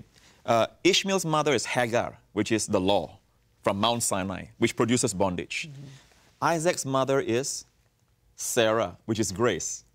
So the Bible tells us, it goes on to say, verse 28, let's drop down to verse 28. But we, brethren, as Isaac was, are children of promise, but as he who was born according to the flesh, which is Ishmael, then persecuted him that was born according to the Spirit, even so it is now. Mm. The child of law persecutes the child of grace. It's never the child of grace persecutes the child of law. Yeah. And what is God's verdict? What is God's diagnosis and God's recommendation? Verse 30. Nevertheless, what does the scripture say? Cast out the bondwoman. Who is the bondwoman? The law from Mount Sinai. Cast out the bondwoman and her son, for the son of the bondwoman shall not be heir with the son of the free woman. It's a very serious question here on inheritance, the heir who will be the heir? Mm-hmm. Okay? So then, brethren, we are not children of the bondwoman, but of the free. So the, the thing is this today, uh, some of our biggest problems are coming from people or, or people who challenged, you know, uh, who, who tried to assassinate your character and all that. It comes from people, persecution in other words, come from people who share the same heavenly father mm-hmm. as us, but not the same mother. They will fight for the law. Our mother is grace. Yeah. Okay? And just as it was in times past, all right, the devil is trying to always take grace away from faith. Abraham represents faith. Yeah. Twice the devil tried to take Sarah away from Abraham. One through Pharaoh, another time through Abimelech. It is always the devil attempting to take grace, Sarah, away from faith. Because he knows that when they are together, yeah is going to be explosive. And when, you mentioned this to me before, when did uh, Ishmael begin to persecute? Yes, let's turn to that real quick. And, and, and uh, Genesis 21, if you look at Genesis 21 in the scriptures, it tells us when this happened. When did Ishmael persecute his half brother, Isaac? All right, Genesis 21, uh, it tells us very clearly here um, in verse 8 the child grew, Isaac, and was weaned he was weaned. Remember, we said that he that is he, the, he who defines righteousness as an act, a behavior, mm-hmm. is unskillful. He that is unskillful in the word of righteousness is a babe. In other words, he does not know the word righteousness. It means give, not an action. Yeah. That person is a babe. But obviously, the body of Christ right now is being weaned. They are now understanding righteousness. Yeah. And guess what's happening at the same time? Persecution. When did Ishmael persecute Isaac? When Isaac was weaned from milk. Yeah. So the body of Christ now is being weaned from milk. They understand righteousness. So the persecution is starting. And that's also the time that God says, cast out the bondwoman. And God spoke through Sarah's mouth. Jeremy, Sarah's mouth. Yeah, I hear it. I hear it. Believe me, I hear it. Praise the Lord. Praise the Lord. I, I know that this is setting you free as you're listening to this right now. And there's so much going on. I think probably what's happening inside is your, your brain is going, wait a second, wait a second. You got to get out of that and let your heart grab a hold of what you're hearing right now because it's truth and truth, knowing this truth. Isn't that what Jesus yes, said? Yes. What would happen to it? What It'll would happen you to free. you? Yeah. You'd be made free. Hmm. And that's what's happening, I believe, in the yes. hearts and the minds and the lives of people that have praise the Lord, they're born again. They're born again. They're in church and they've they got, have the same heavenly Father. Absolutely. Just not the same mother. You see, the, the, in essence, they're saying, uh, what they're saying, Sarah can do a good job in raising Isaac. Sarah, Grace cannot do a good job. Let's bring Hagar back. Wow. Let's bring the law back. No, Sarah is well able to raise her Isaac. So, you know, I'm not sitting and looking at the law every day You know, I'm not Yeah, reading it going, yeah, oh, I got to try to keep that. But there is, there's a, a, I don't know if this is the way to say it, but the, the spirit of that Yes. at work. What, how would you describe that? Because some, no, nobody's sitting there going, I got to yes, keep these that's right. 10 or those 600. You're right. And, and, and people are not conscious they're under the law. One of the best ways to say it is like this. Uh, I, I, I think this really helped me ask the Lord how, how to define this so that people can put it, you know, into, into practice on a, in a practical way on a daily basis. And he said this, just remember, my law is all about demand. My grace is all about supply. The law demands righteousness. Grace supplies righteousness as a gift. to God. The law says, You shall not. Grace says, I will. Yeah. All right? So it's always demand. So if I wake up in the morning and I have so many things to do and I'm demand oriented, oh, you know, my wife demands this of me, my boss demands this of me, you know, my congregation demands this of me. You are demand minded, you'll be under stress, and mm-hmm. practically, even you understand law and grace, you are actually under law. Wow. But if you wake up and you say, "Wow, I got a big project ahead of me, and I got to finish this. I got a, this meeting to do. I got that, you know, preaching assignment. I've got uh, this thing." But if you're supply-minded, God will supply everything, Yeah. and then God will supply it.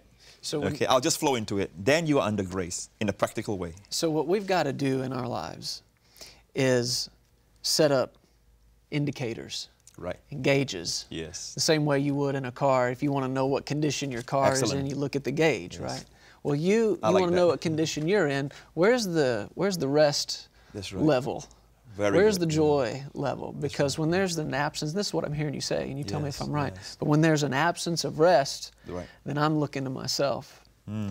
and I'm depending on me to get me from here to there. You are demand-minded and you're under stress. Yeah. You're looking to yourself. But if you look at someone, even though he's busy, you look at Jesus.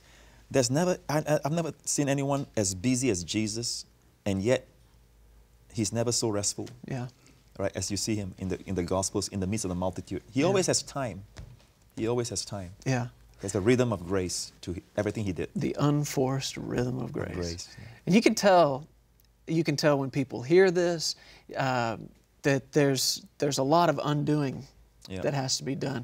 You can tell the Apostle Paul had a hard time l- trying to get it out. You know, that's why I think that's why he had to say so many times, "Yet not I." Yeah, yeah. Like, How do I explain this to you? I'm I'm crucified, but I'm not. But I am, but I'm yeah, not. yeah. You know, he had to say it. Yet not I. That's got to become the description of our lives. I'm alive, yet it's not me. It's Jesus in me. Hmm.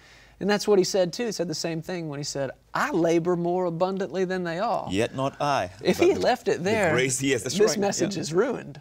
But he said, I'm working hard, harder than anybody, but yet I'm not. Yet I am, but I'm not. Well, if it's not you, Paul, who is it?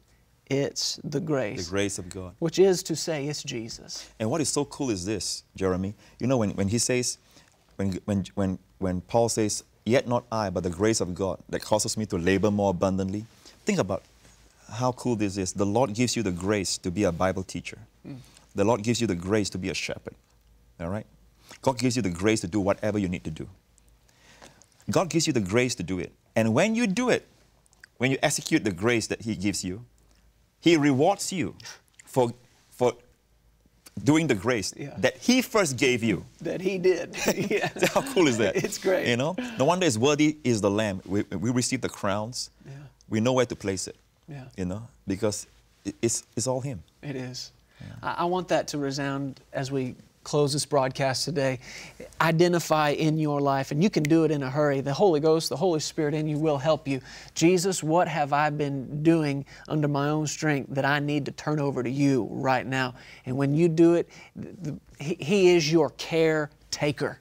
He'll take it and you can be free of it. What we're doing is changing the way we think about some things. Number one, changing the way we think about God. Hmm. This might be brand new information to you, but God is not mad at you. He's not angry with you. Yeah, but you don't know what I've done. I don't know what you've done, but He does, and He's still not angry with you. That's how good He is, and that's how much He loves you. And it's you believing that that will produce the power to change in your life. And and and nobody would argue with this, sir. I mean that God, there's a way to live that is pleasing to Him and brings glory to Him, and it's different than the rest of this world. It's a high way of living, but what we've got to address and what we've been addressing is how do we get there? How do we get there? How do we That's get right. from A to B? And that to me, Mm-hmm. the way I've heard this, I'm like you, I'm hesitant to call it the grace message. The, the, the way I've heard the gospel Mm-hmm. in, a, in a way that I have these last few years, that's what I hear when I hear that. Mm-hmm. It's, it's not that there's nothing to do, it's that number one, Jesus has done it, Mm-hmm. and that not that I do nothing, but that I do only Right, right. what I hear, what I see my Father do, just like Him. Right. And then, even then, I depend on God working in me Yes. to will and, And to, to do, do. it. Yeah. And that's what these broadcasts have Mm-hmm. been about. And if I could be so bold, that's what your ministry is about. And that's why so many people all over the world are being blessed Mm-hmm. and finding the strength to change people who've been bound up in addictions and bound up by fear, bondage of any kind. They're finding their freedom. They're finding that they can reign in this life. And when they do, those things don't. And it's so simple. Yes. People want to know, well, what do you do to get free? Right. Jesus, Jesus said to people, when they said, "We want to work the works of God," He said, "Your work Yeah. is to believe." Believe. Yeah. You know, there's something in man that's like, "Yeah, okay, I get that, but what else?" Yeah. There's something in man that wants to say, right. "Look what I did. That's right. I earned it. I made it. Me, man. Me make living for Yeah. family." You know, it's And that's natural. That's natural. You know, um, grace. not supernatural. Is, it's not supernatural. It is logic, logical. All right. But grace is not logical. All right. If you tell me do good, get good, do bad, get bad, that's logical. Makes sense. Every religion teaches that. That's the essence of the law. But if you tell me I can receive good I don't deserve Mm-hmm. because another received all the bad that he didn't deserve, that takes the Holy Spirit. That takes the enlightenment of the Holy Spirit to understand. Yeah. Doesn't make sense that takes believing how much you're loved. how much you're loved. Yeah. Get And us back into this today. Where do, where do we go from, from where we've been as we keep layering on this? I think my heart, my heart goes out to pastors and leaders. I think they are all for the same thing. They want, they want a vibrant, growing, healthy congregation. People who are full of the Spirit, and not just uh, uh, people who are, you know, uh, moving in the gifts, but also in the fruit of the Spirit. You know what I'm saying? And we touched that on the on the first uh, broadcast uh, this week. Uh, we touched on how the fruit of the Spirit comes about. It's a fruit. It is not something you do, it's a fruit. Mm-hmm. And we have taught it like it's a discipline. Yeah. You got to discipline yourself to have all this, you know. But when you're under grace, that's the fruit. So we got to focus on grace because grace not only saves, Jeremy, grace also teaches. Grace also teaches. Grace in Titus 2, it says the grace yeah. of God teaches us. There you go, Pastor Prince. You gotta, you gotta teach on denying ungodliness and wait a minute. It doesn't say you teach. It says the grace of God will teach. Grace of God teaches us. We teach grace to our people. The grace of God will teach them Wow. from within. Isn't that what he said too when he said, I will write my laws on their heart"? Exactly. I- Exactly. you won't have need of somebody standing there telling you. Exactly. And, and, and no one need to teach each other, know the Lord. All shall know me from Yeah. the least to the greatest. That's, that's a clause of the new covenant. And what makes, what makes all that work? What makes all the clause of the new covenant work? The last phrase, because I will be merciful to their unrighteousness and their sins I remember no more. Wow. And I still hear preaching on Deuteronomy where it says, I'll visit your iniquity to the third and fourth generation. Wait a minute. Which covenant are we preaching now from? Yeah. We are still preaching from Mount Sinai. All right? New covenant, God says, I will remember your sins no more. I will remember your sins no more means what? There was a time I remembered your sins, but no more. Yeah. Why? I remembered them all at the cross and I, I, I, I punish my son, all right, for all your sins. So today, because I am holy, people think that, that grace is because, or you know, there is therefore now no condemnation, or you're just making God appear like he's soft on sin. No. There is therefore now no condemnation because God is holy. Yeah. Because he is holy, because he is just, he cannot punish the same sin twice Yeah. Once in the body of my surety and then in my body, in my life. They'll make him unjust. Yeah. Okay, so it's because God is holy, there is no imputation of sin in my life. He'd because, be unjust to you and to yes, Jesus. to Jesus. and he's not about to do that. And he's not about to do that. Now, I've, I've heard uh, well-meaning, great men of God, wonderful, precious people, who, and, uh, and they, tend, they, they, they tend to repeat something they've heard, like, for example, if God does not judge America, God will have to apologize to Sodom and Gomorrah, you know? And, and I understand where they're coming from, but I say if God judges America, he'll have to apologize to Jesus. Mm. Okay? Because even Sodom and Gomorrah, when, when Abraham interceded, he says, if you find 10 righteous, will you destroy Sodom and Gomorrah? If you find 10, God says, for 10, I will not destroy. You mean to tell me you cannot even find 10 righteous men by the gift of righteousness through the blood of Jesus in America today? Hmm. So I, I, I, I think that we got to change the way we preach. We got to preach from Mount Zion, not from Mount Sinai. Yeah. From the new covenant, not from the old covenant. Yeah. It's time for us to preach. You know, for example, the Bible says in Colossians, you are complete in Christ. Okay? You are complete in Christ. And there's a starting post of the believer. What do we do? We take the starting post, make it a finishing post. One of these days, you'll be complete in Christ. Hmm. But no, you got, got to realize that you are complete in Christ, you are seated with Christ. Now walk out from that sense of completeness. Brother Copeland likes to say this I'm not trying to be healed. Yeah. I am the healed. Yeah. Amen? Yeah. It is so restful when you realize I'm not trying to get it. I have it. I'm complete in Christ. Yeah. Let's deal with some of these things that I know you hear quite a bit, and, and anybody would really. I think you call them the whatabouts. Yes, the whatabouts. Uh, somebody hears a message on power, the grace of God, and, and what they're responding to is yep. the the too goodness of this. It's too yeah, good to be true. Right, it's yeah. but really it's so good that it is true. Um, what are some of these that you've heard and that you yes. that you want to address uh, on these I have I have a, a, whole series of teachings. It's called What About, literally mm-hmm. yeah. What About. What about what about? and and we have what about Ananias and Sapphira? Mm-hmm. What about repentance? What about Hebrews chapter 6? you know, the falling away. What about Hebrews 10? So it's all covered. It's not possible for me to cover everything here, sure. but if you want to, you know, that, that, series covers everything. But one of the things I like to cover is uh, what about repentance? Mm-hmm. You know, people have ideas about, you know, if you're, you're preaching grace, not preaching repentance. Well, number one, uh, how do you define repentance? In the Greek, it says metanoia, which is change of mind. Okay? So every Sunday, all right, in my church, as I'm preaching, the beauty and the lovely and the glory, the loveliness and the glories of Jesus, all right, repentance is going on all the time. Of how good God is, repentance is going on all the time. Mm-hmm. You know? And repentance is not this smiting your breast saying, Jesus, Jesus, because you can cry your eyeballs out and still go away the same. All right? Repentance is hearing something that causes you to change your mind. The Apostle Paul in Acts 20, verse 21, he says, Repentance towards God and faith towards the Lord Jesus Christ. The first area repentance must happen is towards God. Change your mind towards God. You used to think that He was against you. Yeah. Now change your mind. He is for you. Yeah. You used to think that God wants you to perform.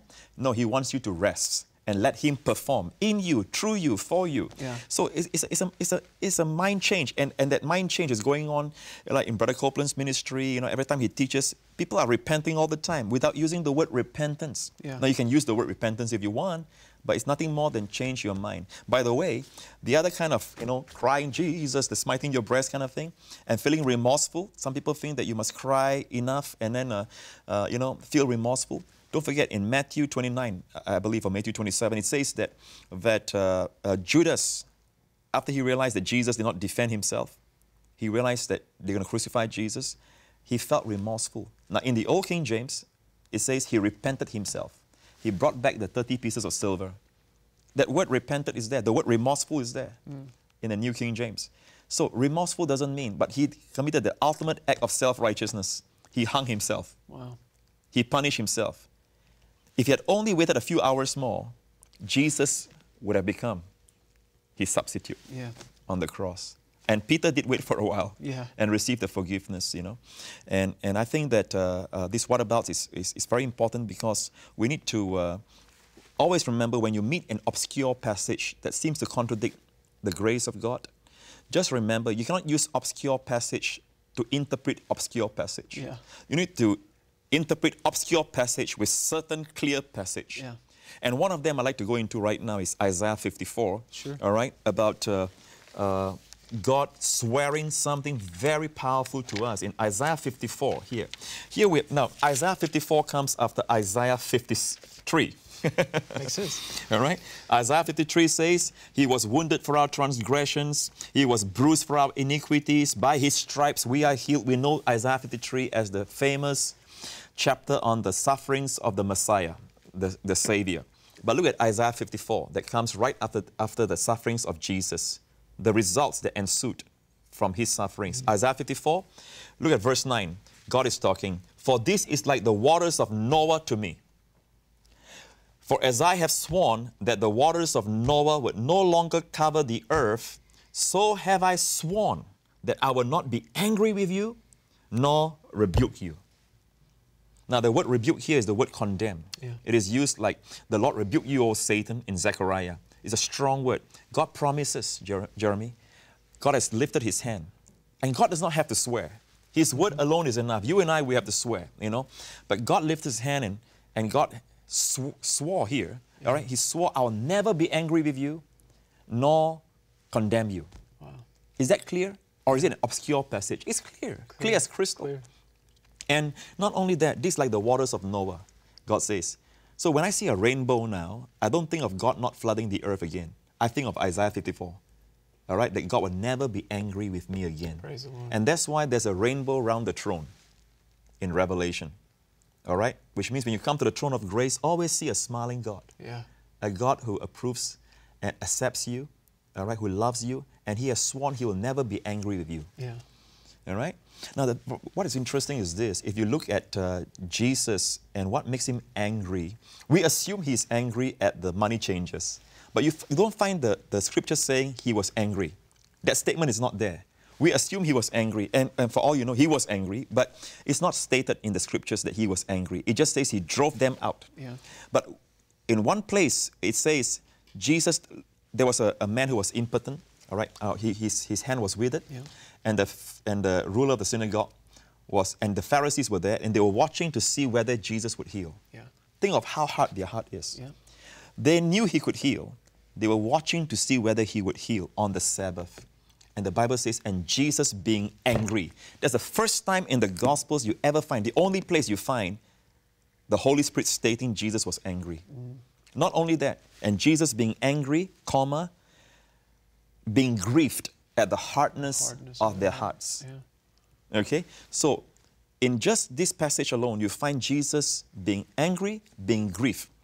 All right? At what? The lack of grace. Yeah. Not because they were, they were, they were smoking pot, not because they were sleeping around. These people were, were, were, were, were defenders of the law. They were trying to see whether he would heal on the Sabbath day. Yeah. All right? And Jesus was angry at that. He was grieved at that. So, what makes Jesus angry today? You know, He's the same yesterday, today, and forever when there's a lack of grace. By the way, that word being grief at the hardness, the word grief there is the same Greek word, the same root word as the word grief, not the Holy Spirit of God. Mm. All right? But if you look at Ephesians where it says, and grief not the Holy Spirit, it starts with a conjunction and. You don't start a statement with and.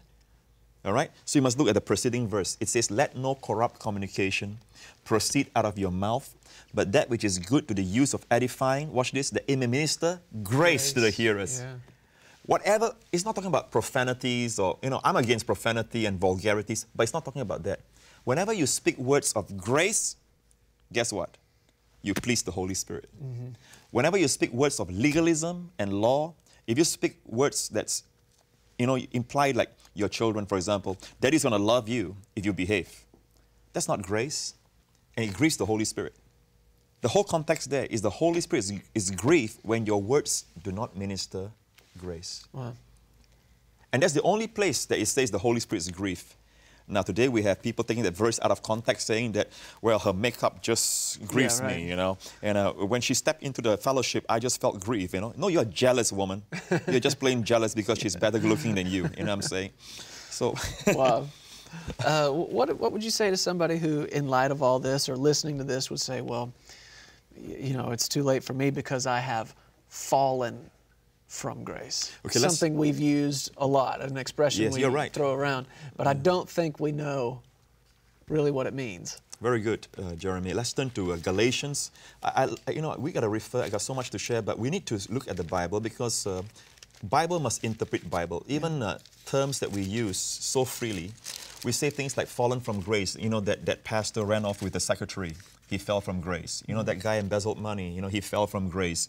Now these are wrong. These things are sin. All right, but but fallen from grace has been so abused. That phrase appears only, only once. Actually, I would say twice because in Hebrews 12, it talks about the two mountains. Look diligently lest any man fail of the grace of God. You know, about the shaking. But let's look at this. What, what is fallen from grace? Uh, Galatians chapter 5, verse 6. It says, For in Christ, excuse me, verse 4, you have become estranged from Christ. Now I'm reading from the New King James. If you look at the Old King James, it says, Christ is become of no effect unto you. That's not good. That's not good. if you if you are sick, you don't want Christ to become of no effect. Right. If you, you, you, you are poor and broke, you don't want Christ to become of no effect. If you are depressed, you don't want Christ to become of no effect. Okay? And it says here, Christ is become of no effect unto you. Whosoever of you are justified by the law, you are fallen from grace. In other words, when you attempt to be justified by the law, Christ becomes of no effect because you don't need him anymore. Mm-hmm. You're, you're, you're trying out your own strength. All right? And not only that, you're fallen from grace. Okay, so falling from grace is not falling into sin. In fact, those who fall into sin, when they sin, they fall into grace. Now, what are you going to do about it? Yeah. You need to take advantage of that grace right now yeah. and get out of your sin. Okay? But falling from fall, uh, fall from grace is notice fall from, which means grace is higher, higher than the law. Sure. Yeah. For you to go to the law, you must fall from. That's why in the Ark of the Covenant, the mercy seat, you know, the covering, all right, that covers the mercy seat of the Ark of the Covenant, is called the mercy seat. But what's inside? You have the Ten Commandments.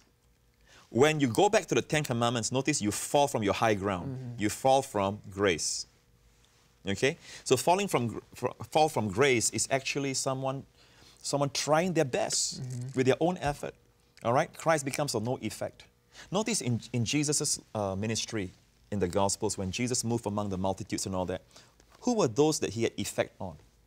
Sinners, prostitutes, tax collectors, all right, social outcasts. As many as touch him, they receive. Who are the ones that cannot receive? Self righteous. The self righteous Pharisees. All right? And by the way, Jesus never categorized people all right, for example, you know, in his healing ministry, he never said, all those of you who need to get right with your spouse, okay? Yeah. All right, you get right right now before I pray for you. You stand over here in a group. All right, those of you who have, you have un unforgiveness in your hearts, okay, you stand over here. Now, I'm against unforgiveness, all right?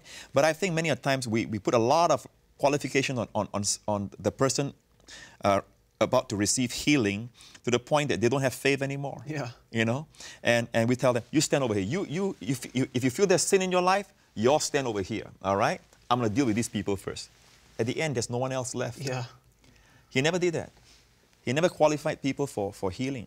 As many as touch him, they receive. I'm sure that in the bunch of the multitudes. I'm sure there are people who were quarreling that morning. I'm sure that there were people who were not right with their spouse. I'm sure there were people who had bitterness in their hearts. I'm sure there were gossipers among them, but they all received. Yeah. All right?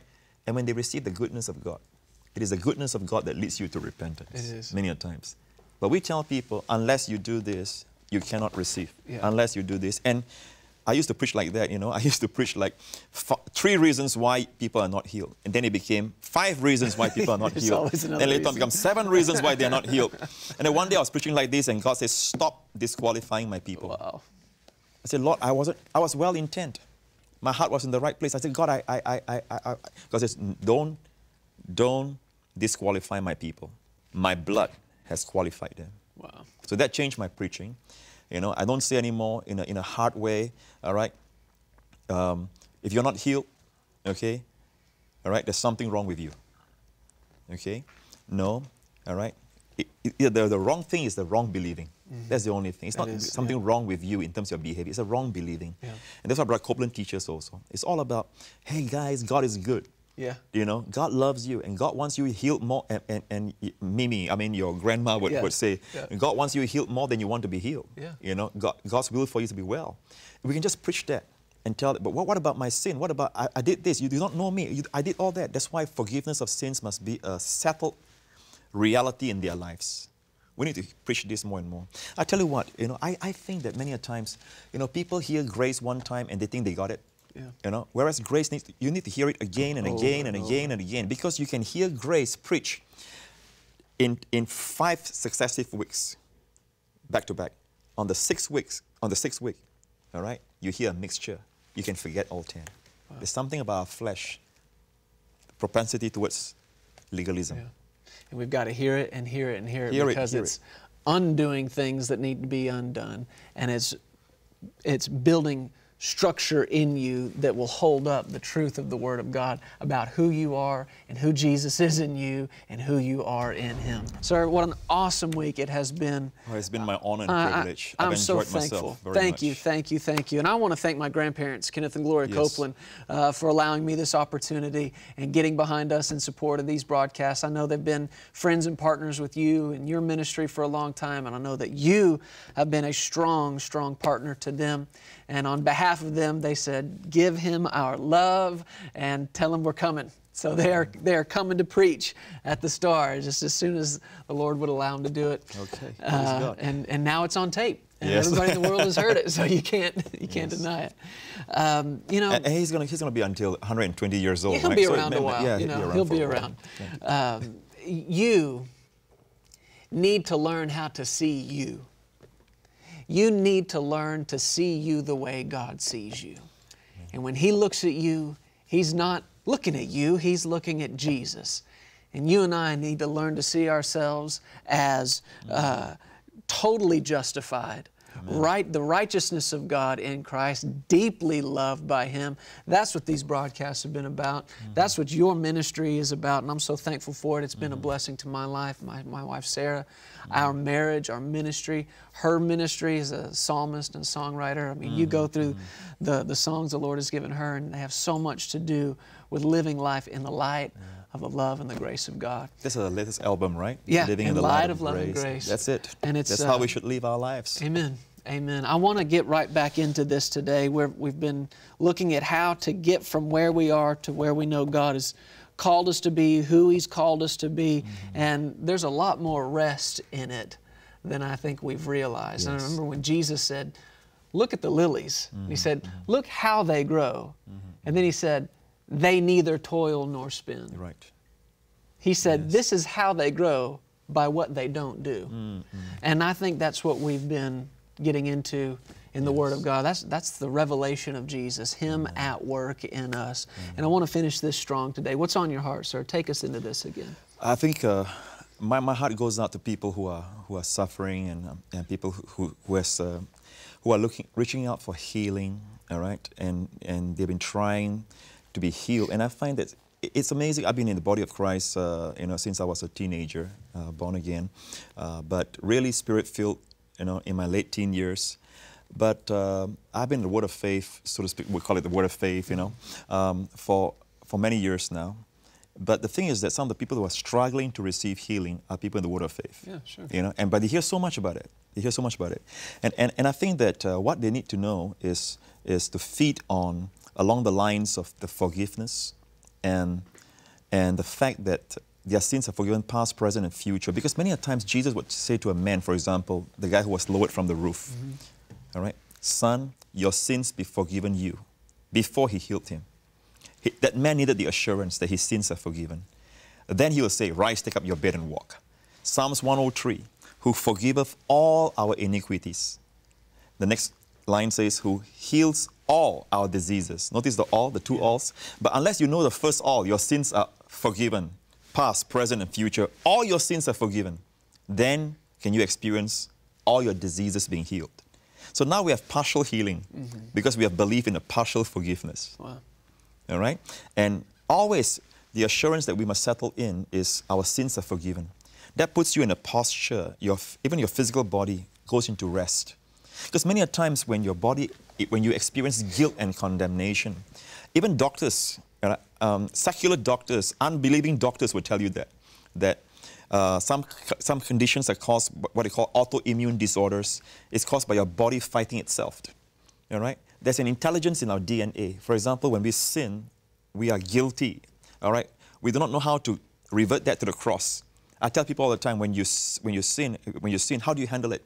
Confess I'm the righteousness of God in Christ. Look at the cross. Always look at the cross. There is my punishment. There is my beating. Stop beating yourself. Yeah. Because if you don't, when you start feeling guilty, condemnation kills. When you start feeling guilty, uh, what's going to happen? Your DNA is so intelligent. That's been proven by science. Your DNA will say, guys, this guy wants to punish himself.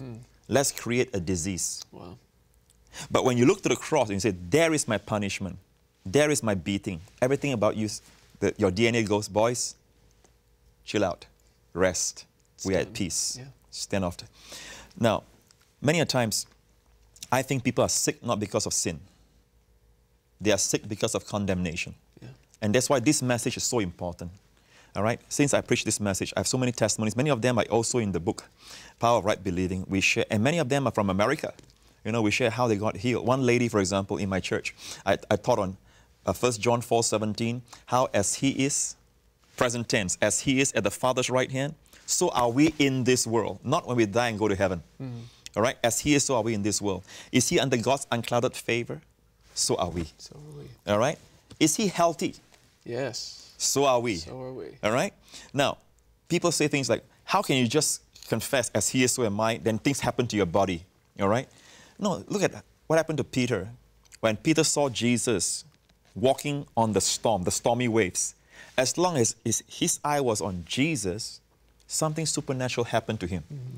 He also was as he is, so was Peter above the storm walking on the water.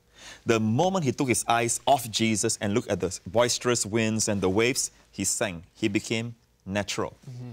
So, likewise, when we say, as he is, so are we in this world, all right, something happens to us, all right? Also, in the area of our, our bodies. I have a lady in my church, she went for a mammogram test, and the doctors found a lump that they're concerned about in her, her breast, and they said she must come back for further tests. That weekend, I preached on As He Is, So Are We in This World. And she showed me her medical report. She says, Pastor Prince, look at this. All right? I wrote down, As Jesus is, so are we in this world. Does Jesus have lumps in his breast? As He is, so am I, Yeah. she said. And guess what? She went back for the, the, the further test, and they found nothing. Now, in my book, I share about a lady uh, who wrote, a lady from America who wrote to us. She read that account that I shared in my book, Unmerited Favor. She said that she, she was diagnosed, she went for mammogram, mammogram test, she was diagnosed as having a, a, a lump that caused concern for the doctors. So they wanted to run further tests. She read that, that, that, that part, she went back to the book and read that part, and she says, Lord Jesus, as you are, so am I in this world. All right, and she wrote down also, does Jesus have lumps in his breast? All right, you are free from lumps, so am I in this world. Went back to the doctors, they found no lumps. The thing is this, it, it may not happen overnight, but always keep on looking at Jesus. Mm-hmm.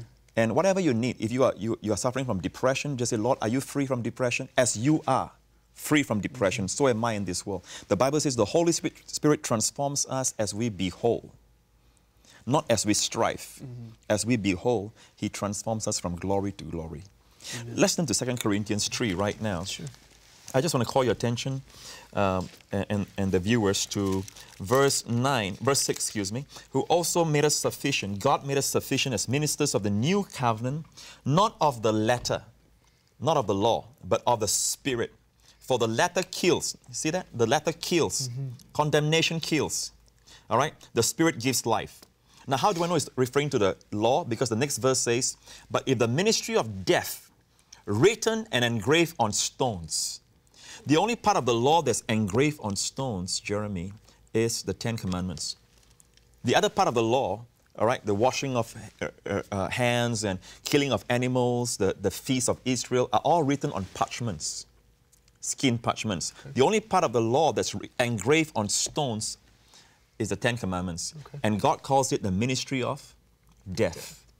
And sometimes we are unleashing this ministry as a series, a Sunday series, you know, and, and killing people slowly. Notice it says the letter kills, but the spirit gives life. When God first gave the law to Israel, the Israelis will tell you this, all right? They celebrate Pentecost for the giving of the law. All right? Passover, their first Passover, Israel came out through the blood of the Lamb. Number 50 days, the first the first Pentecost, God gave the law. Okay? So today, Jewish people celebrate Pentecost as the giving of the law. We celebrate Pentecost as the giving of the Spirit. Notice when God gave the law on Mount Sinai, 3,000 people died. Mm-hmm. Okay? You fast forward to the Acts chapter 2, when the day of Pentecost was fully come. Notice the phrase, full, God waited until the day of Pentecost was fully come. God gave what? The law? No, the, the Spirit. Spirit. And 3,000 people were saved. Which goes to show the letter kills. All right? You'll become sick. All right? You, you'll be introspective. You'll become sick emotionally, sick physically.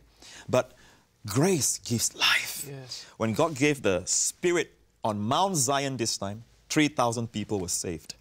Okay? And by the way, the tongues that they heard were declaring the wonderful works of God. Whereas when the law was given, it is man's works. You shall not, you shall not, you shall not. But when God gave the Spirit, it was about the wonderful works of mm. God. So here, the, the attention, the, the, attention, the focus changes. It that's right. That's right. You and onto Him, and this is why He feels so strongly about you and I living under this self righteousness. Right. He calls it yeah. filthy. Yes. In comparison. And we become self occupied. Yeah. You know, we become like, instead of looking to Jesus, looking away from self, we are looking within. Have I obeyed enough? Why, why, why am I feeling like this? Yeah. Why are my thoughts like this? We don't realize that the devil wants us self occupied. Yeah. He, he, will tell you, look at your thoughts.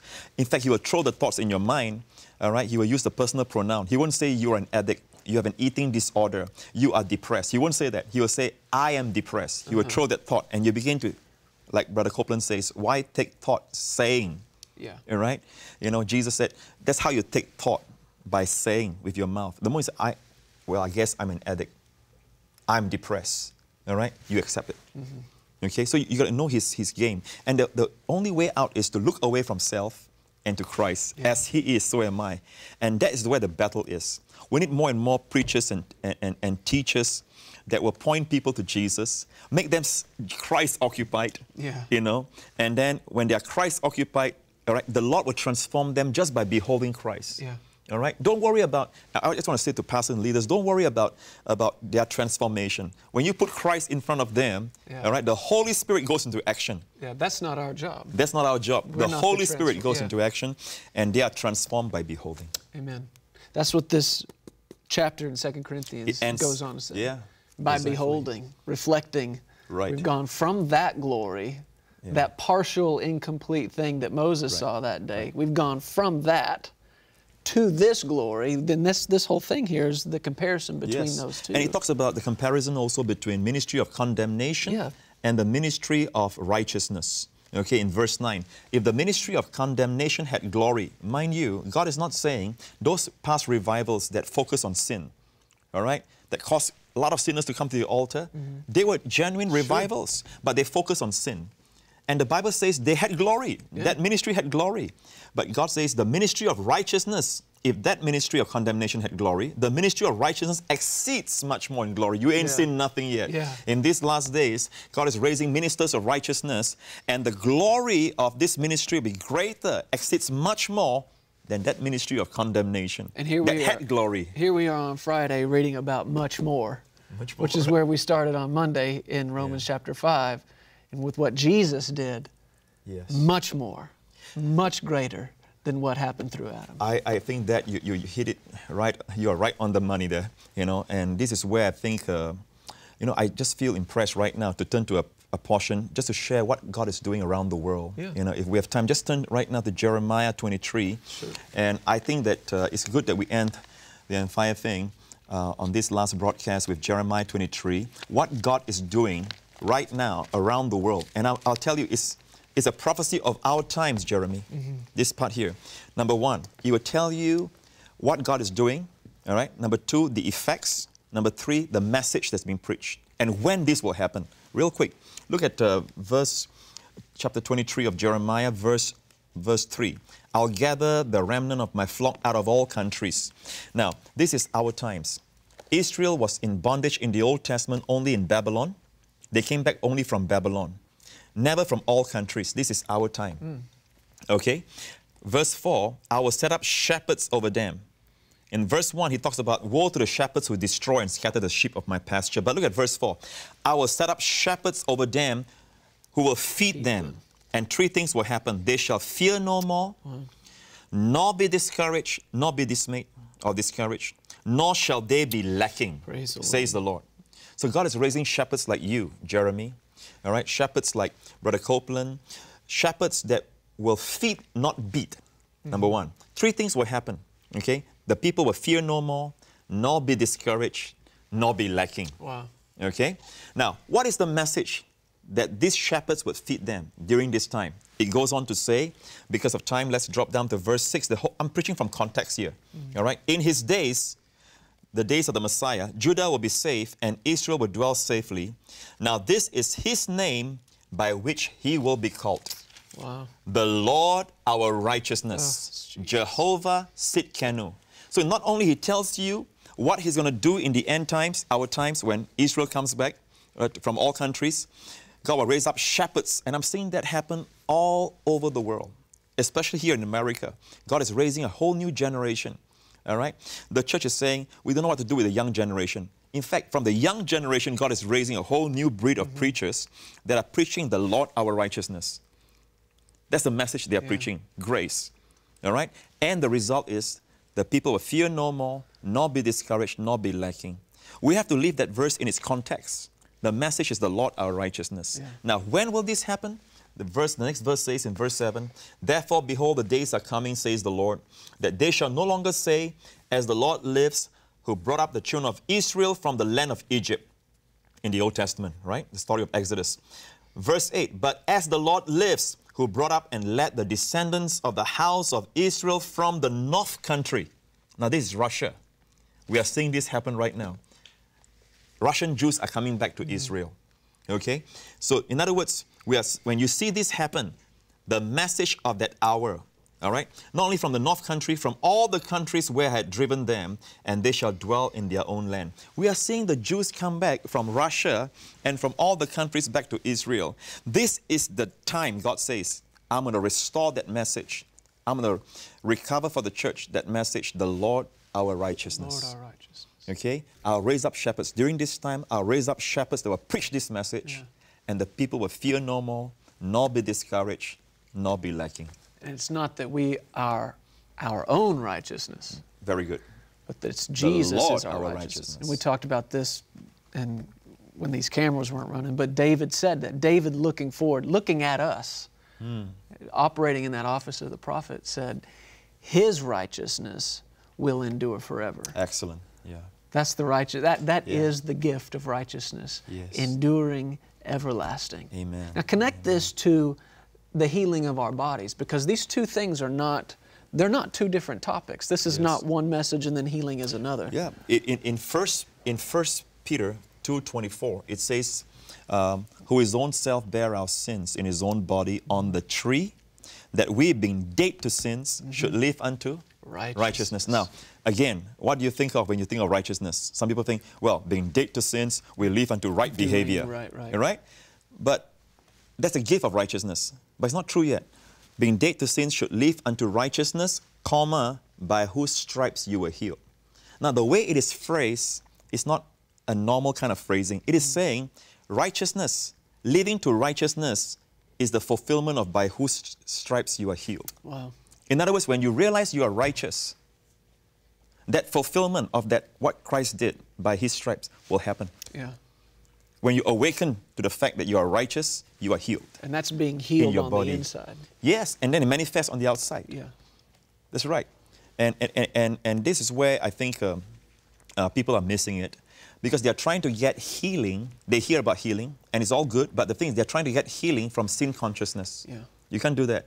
In fact, what is interesting is that during the times when, before the law was given, Jeremy, all right, the Bible says sin was in the world. Until the law came, sin was in the world. Okay, in Romans. Think about it. Before the law was given, men lived hundreds of years. I mean, these were sinners. They, they, they, they had sin, but they were not condemned. They, they didn't feel condemned for their sins. Now, I'm not saying it's right or wrong. I'm just telling you that, that people, without the law, without the sense of condemnation and guilt, they live hundreds of years.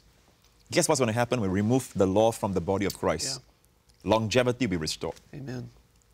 That's been a major theme in this ministry, as you may know. Um, uh, my grandmother, Gloria, she's has been preaching heavily al- along those lines. We talked about this, but in Psalm 90, and people thinking, well, that's what God's given us 70 or 80 years, but that that's not for us, is it? That's not. If you read the context of that passage, Psalms 90 talks about uh, uh, uh, the days of our years. If you turn to it real quick, uh, in Psalms 90, the Bible is very clear. It tells us that um, the days of our years, you know, be 70 years old, all right?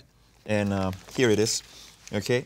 In verse uh, 10, the days of our lives are 70 years. By reason of strength, they are 80 years. But look at the context. The verses before that talks about your wrath.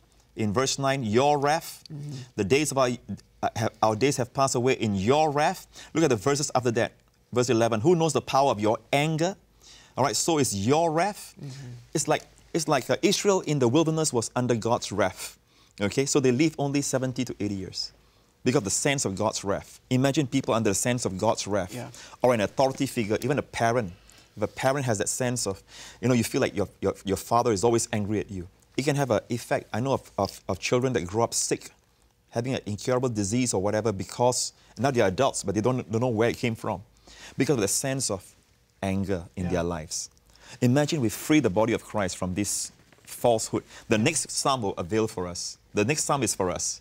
With long, long life, life. will God satisfy us. Praise the That's for us. Hallelujah. Will you, we've got just seconds left on this broadcast. I want you to pray the prayer of faith. There are people watching this believing God for healing in their body, and today is their day to receive that. We pray. I'll gladly. Now, friend, I want to proclaim to you that all your sins are forgiven. I know it because if you believe in Christ, I know from the Word of God that your sins are forgiven, past, present, and future. Will you kindly do me a favor, please? Will you forgive yourself? Before I pray for you, will you say in Jesus' name, if your name is George, say, George, I forgive you. Of all the stupid things you have done, I forgive you. Some of you are kicking yourself, you are hurting yourself, you are beating yourself up. You need to forgive yourself. It's as much, you know, unforgiveness not to be forgiving yourself.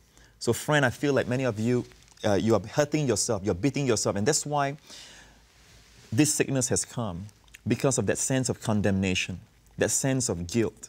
You are punishing yourself. But look away from self to the cross. Look at what Christ has done. His beating was your beating, His condemnation was your condemnation. So, friend, right now, I declare you completely forgiven you, of all your sins. Receive that love. Receive that forgiveness from God in the name of Jesus. And I pronounce your body in the name of Jesus healed, whole, and complete Thank you. in the name of Jesus. Why? Because God loves you. In Jesus', name, amen. Amen. Amen. Praise Him.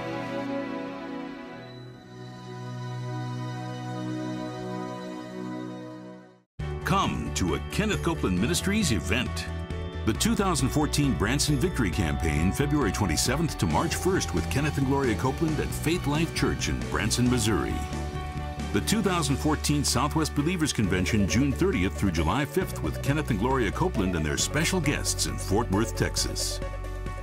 The 2014 Washington, D.C. Victory Campaign, November 13th through 15th with Kenneth and Gloria Copeland at the Hylton Memorial Chapel in Woodbridge, Virginia. Partnership is the anointing of increase.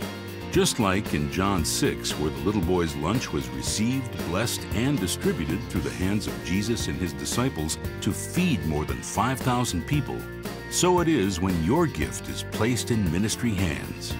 God's way is for seed to come into the ministry, for the ministry to receive it, bless it, and distribute it, then for it to go out, multiplied in greater numbers than when it came in. That's the anointing of increase. we get the benefits of it because we're part of the ministry because we get the anointing that's that's on that ministry have it's flowing in our lives The anointing that is on the men and women in the fivefold ministry offices can be transferred to any believer through partnership. You're not putting enough faith pressure on it, you hear me? You need to put pressure on that partnership. Not pressure on me, pressure on the partnership, pressure on the word. Amen. I'm a partner in this ministry, and I believe for every anointing that's on Kenneth and Gloria, The purpose of the anointing of increase through partnership is to accomplish something that neither the partner nor the ministry could ever do alone. What you believe to be true can and will impact the way you live your life. Wrong thoughts produce wrong actions. Right believing produces right living. How do we know what is right to believe? We discover that in God's Word, and the Power of Right Believing package can help. With Pastor Joseph Prince's latest book, The Power of Right Believing, you'll learn seven practical yet powerful ways to finding freedom. When you know you're loved and forgiven, you have confidence to live whole and complete. Your identity can be anchored in Christ, causing you to live stress free in His rest. The Bible says the Holy Spirit transforms us as we behold, not as we strive. As we behold, He transforms us from glory to glory. Kenneth Copeland helps you discover the truly compelling power of God's mercy, as well as the depths of His love and compassion in this book, Mercy, the divine rescue of the human race. Be transformed in your belief system by the power of His love. Believe right and live free. Order the Power of Right Believing package for only $24 and save over 20%. Joseph Prince's book, The Power of Right Believing, and Kenneth Copeland's book, Mercy, will help you discover the compelling power of God's love and mercy for you. Be free from every addiction and fear and begin living a life in His peace and joy today. Go to kcm.org slash TV special or call 800 600 7395 for an additional 10% off. Order your package online. Pastor Joseph Prince mentioned on this broadcast earlier this week that righteousness the righteousness of God is a gift. It's a gift from God to you through Jesus. And that's what makes it His grace towards you. And you need to receive that gift if you never have. If you've never made Jesus the Lord of your life, you need to do that right now because in that, when you receive that gift, you are free from sin, you are free from shame and condemnation. And I want you to get free today. If you've never made Jesus the Lord of your life, then just pray this prayer with me. Say, God in heaven, I come to you in Jesus' name. I believe in my heart and I confess with my mouth Jesus is Lord. He is your Son. I believe He lived for me. I believe He died for me. I believe He rose again for me. And I thank you, Lord, for filling me with your Holy Spirit. Jesus, be the Lord of my life. Take my life and do something with it. In Jesus' name, Amen. Now, listen, if you prayed that prayer with me for the first time, then you need to know all of heaven is rejoicing with you, throwing a party for you because you came home, and everyone at Kenneth Copeland Ministries rejoices with you. And we have a free salvation package that we want to send to you. This is a book called He Did It All for You by my grandparents, Kenneth and Gloria Copeland. And we're going to send you two brochures on how to study your Bible, how to get into uh, reading the Bible and find out what the Bible says about you, what it says about God, and who you are in Him, these things will just help you get on your way. Learn to see you the way God sees you. He sees you through the eyes of Jesus. So request your free salvation package today. Go to kcm.org. We'll send it to you. Now, the word of the Lord that came to Brother Copeland about 2014 is that this is the year of our victory over death and the year of God's manifested love. The more you grow in the love of God, the more you will see how much He loves you, and then your faith will begin to grow. Amen. Faith works when you know how much you're loved. So thank you so much for joining me on this today. Pastor Joseph Prince and I will be back again tomorrow. We're going to be learning more about the freedom that we have in Christ Jesus and how to reign in life through Him.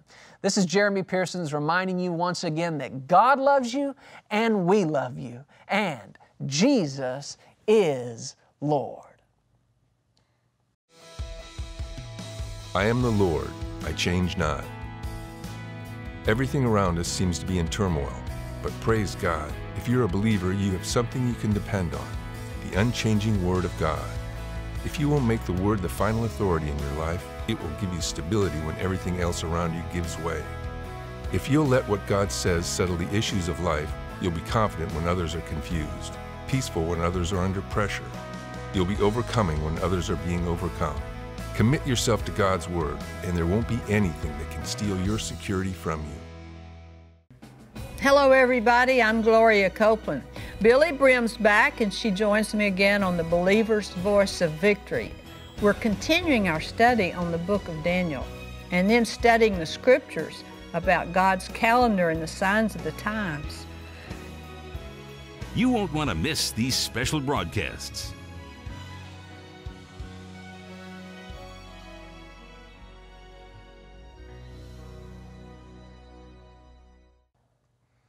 Was such a powerful prayer that Pastor Joseph prayed at the end of this broadcast today, and you need to know that you're forgiven. You need to know that you are free from condemnation and guilt, and above all, you need to know that God loves you. And I hope you received that word today. I hope you received that love and the forgiveness that comes from Jesus and through Jesus. And when you do, that's when you will be healed from the inside out. The healing of your body happens after the healing of your soul, and you can be whole and complete. Amen. I'm so thankful that we had that time with Him today on this broadcast and all this week. Now, Friday is always offering day on the Believer's Voice of Victory broadcast. So let me read to you from the book of Galatians, chapter 6, verse 6. It says, Let him who is taught the word of God, let him who is taught the word share in all good things with him who teaches. Do not be deceived. God is not mocked. Whatever a man sows, that he will also reap. And we've had two weeks of outstanding broadcast. Uh, I'm so thankful that Sarah took the time to join us here. So grateful that Pastor Joseph Prince took the time to minister the Word of God to us. And if you've been blessed by this, go before the Lord and just say, Father, is there something you'd have me do in response to these broadcasts? And if He leads you to give, then do it, knowing that your partnership is going to preach the gospel of the Lord Jesus Christ all over the world. Father, I pray the blessing over every partner, over everyone sowing into this ministry and these broadcasts. I thank you, Lord, for strengthening them and returning to them and causing them to know that their seed has been sown in good ground. We give you praise in Jesus' name. Amen. I encourage you to go back and watch these broadcasts from the last couple of weeks and, and get a hold of what the Lord's been saying to us. You can download them absolutely free on kcm.org. Go back and, and look at the archives of all the broadcasts. Just feed on these things and watch as the Lord works them in you and through you. Now, next week, my grandmother, uh, Gloria Copeland, and her guest, Billye Brim, are going to study on these broadcasts as they always do. They're going to study God's calendar and His signs of the times. And you need to know that Jesus is coming soon, and our hope is in Him. That's why we do these broadcasts, because they're going to equip you with the Word of God, give you courage to be bold and win souls, praise God, for Jesus. So get these things down on the inside and feed on them, like Sarah and I talked about, feeding on the faithfulness of God. Feed on who you are in Christ Jesus. Feed on who He is in you. And be constantly aware He's coming soon. He's coming soon. He is coming soon. Amen. Thanks so much for joining us on this broadcast this week and all last week. It's been my joy and honor to be your host.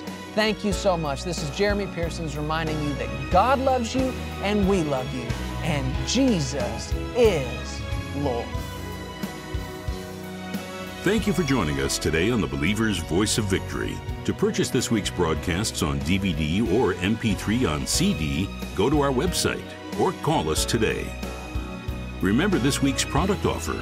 These ministry tools are designed to help you live a happy and successful life in Christ. Get the Word working in your life and experience all God has for you. If you received Jesus as your Lord and Savior today, be sure to request your free salvation package.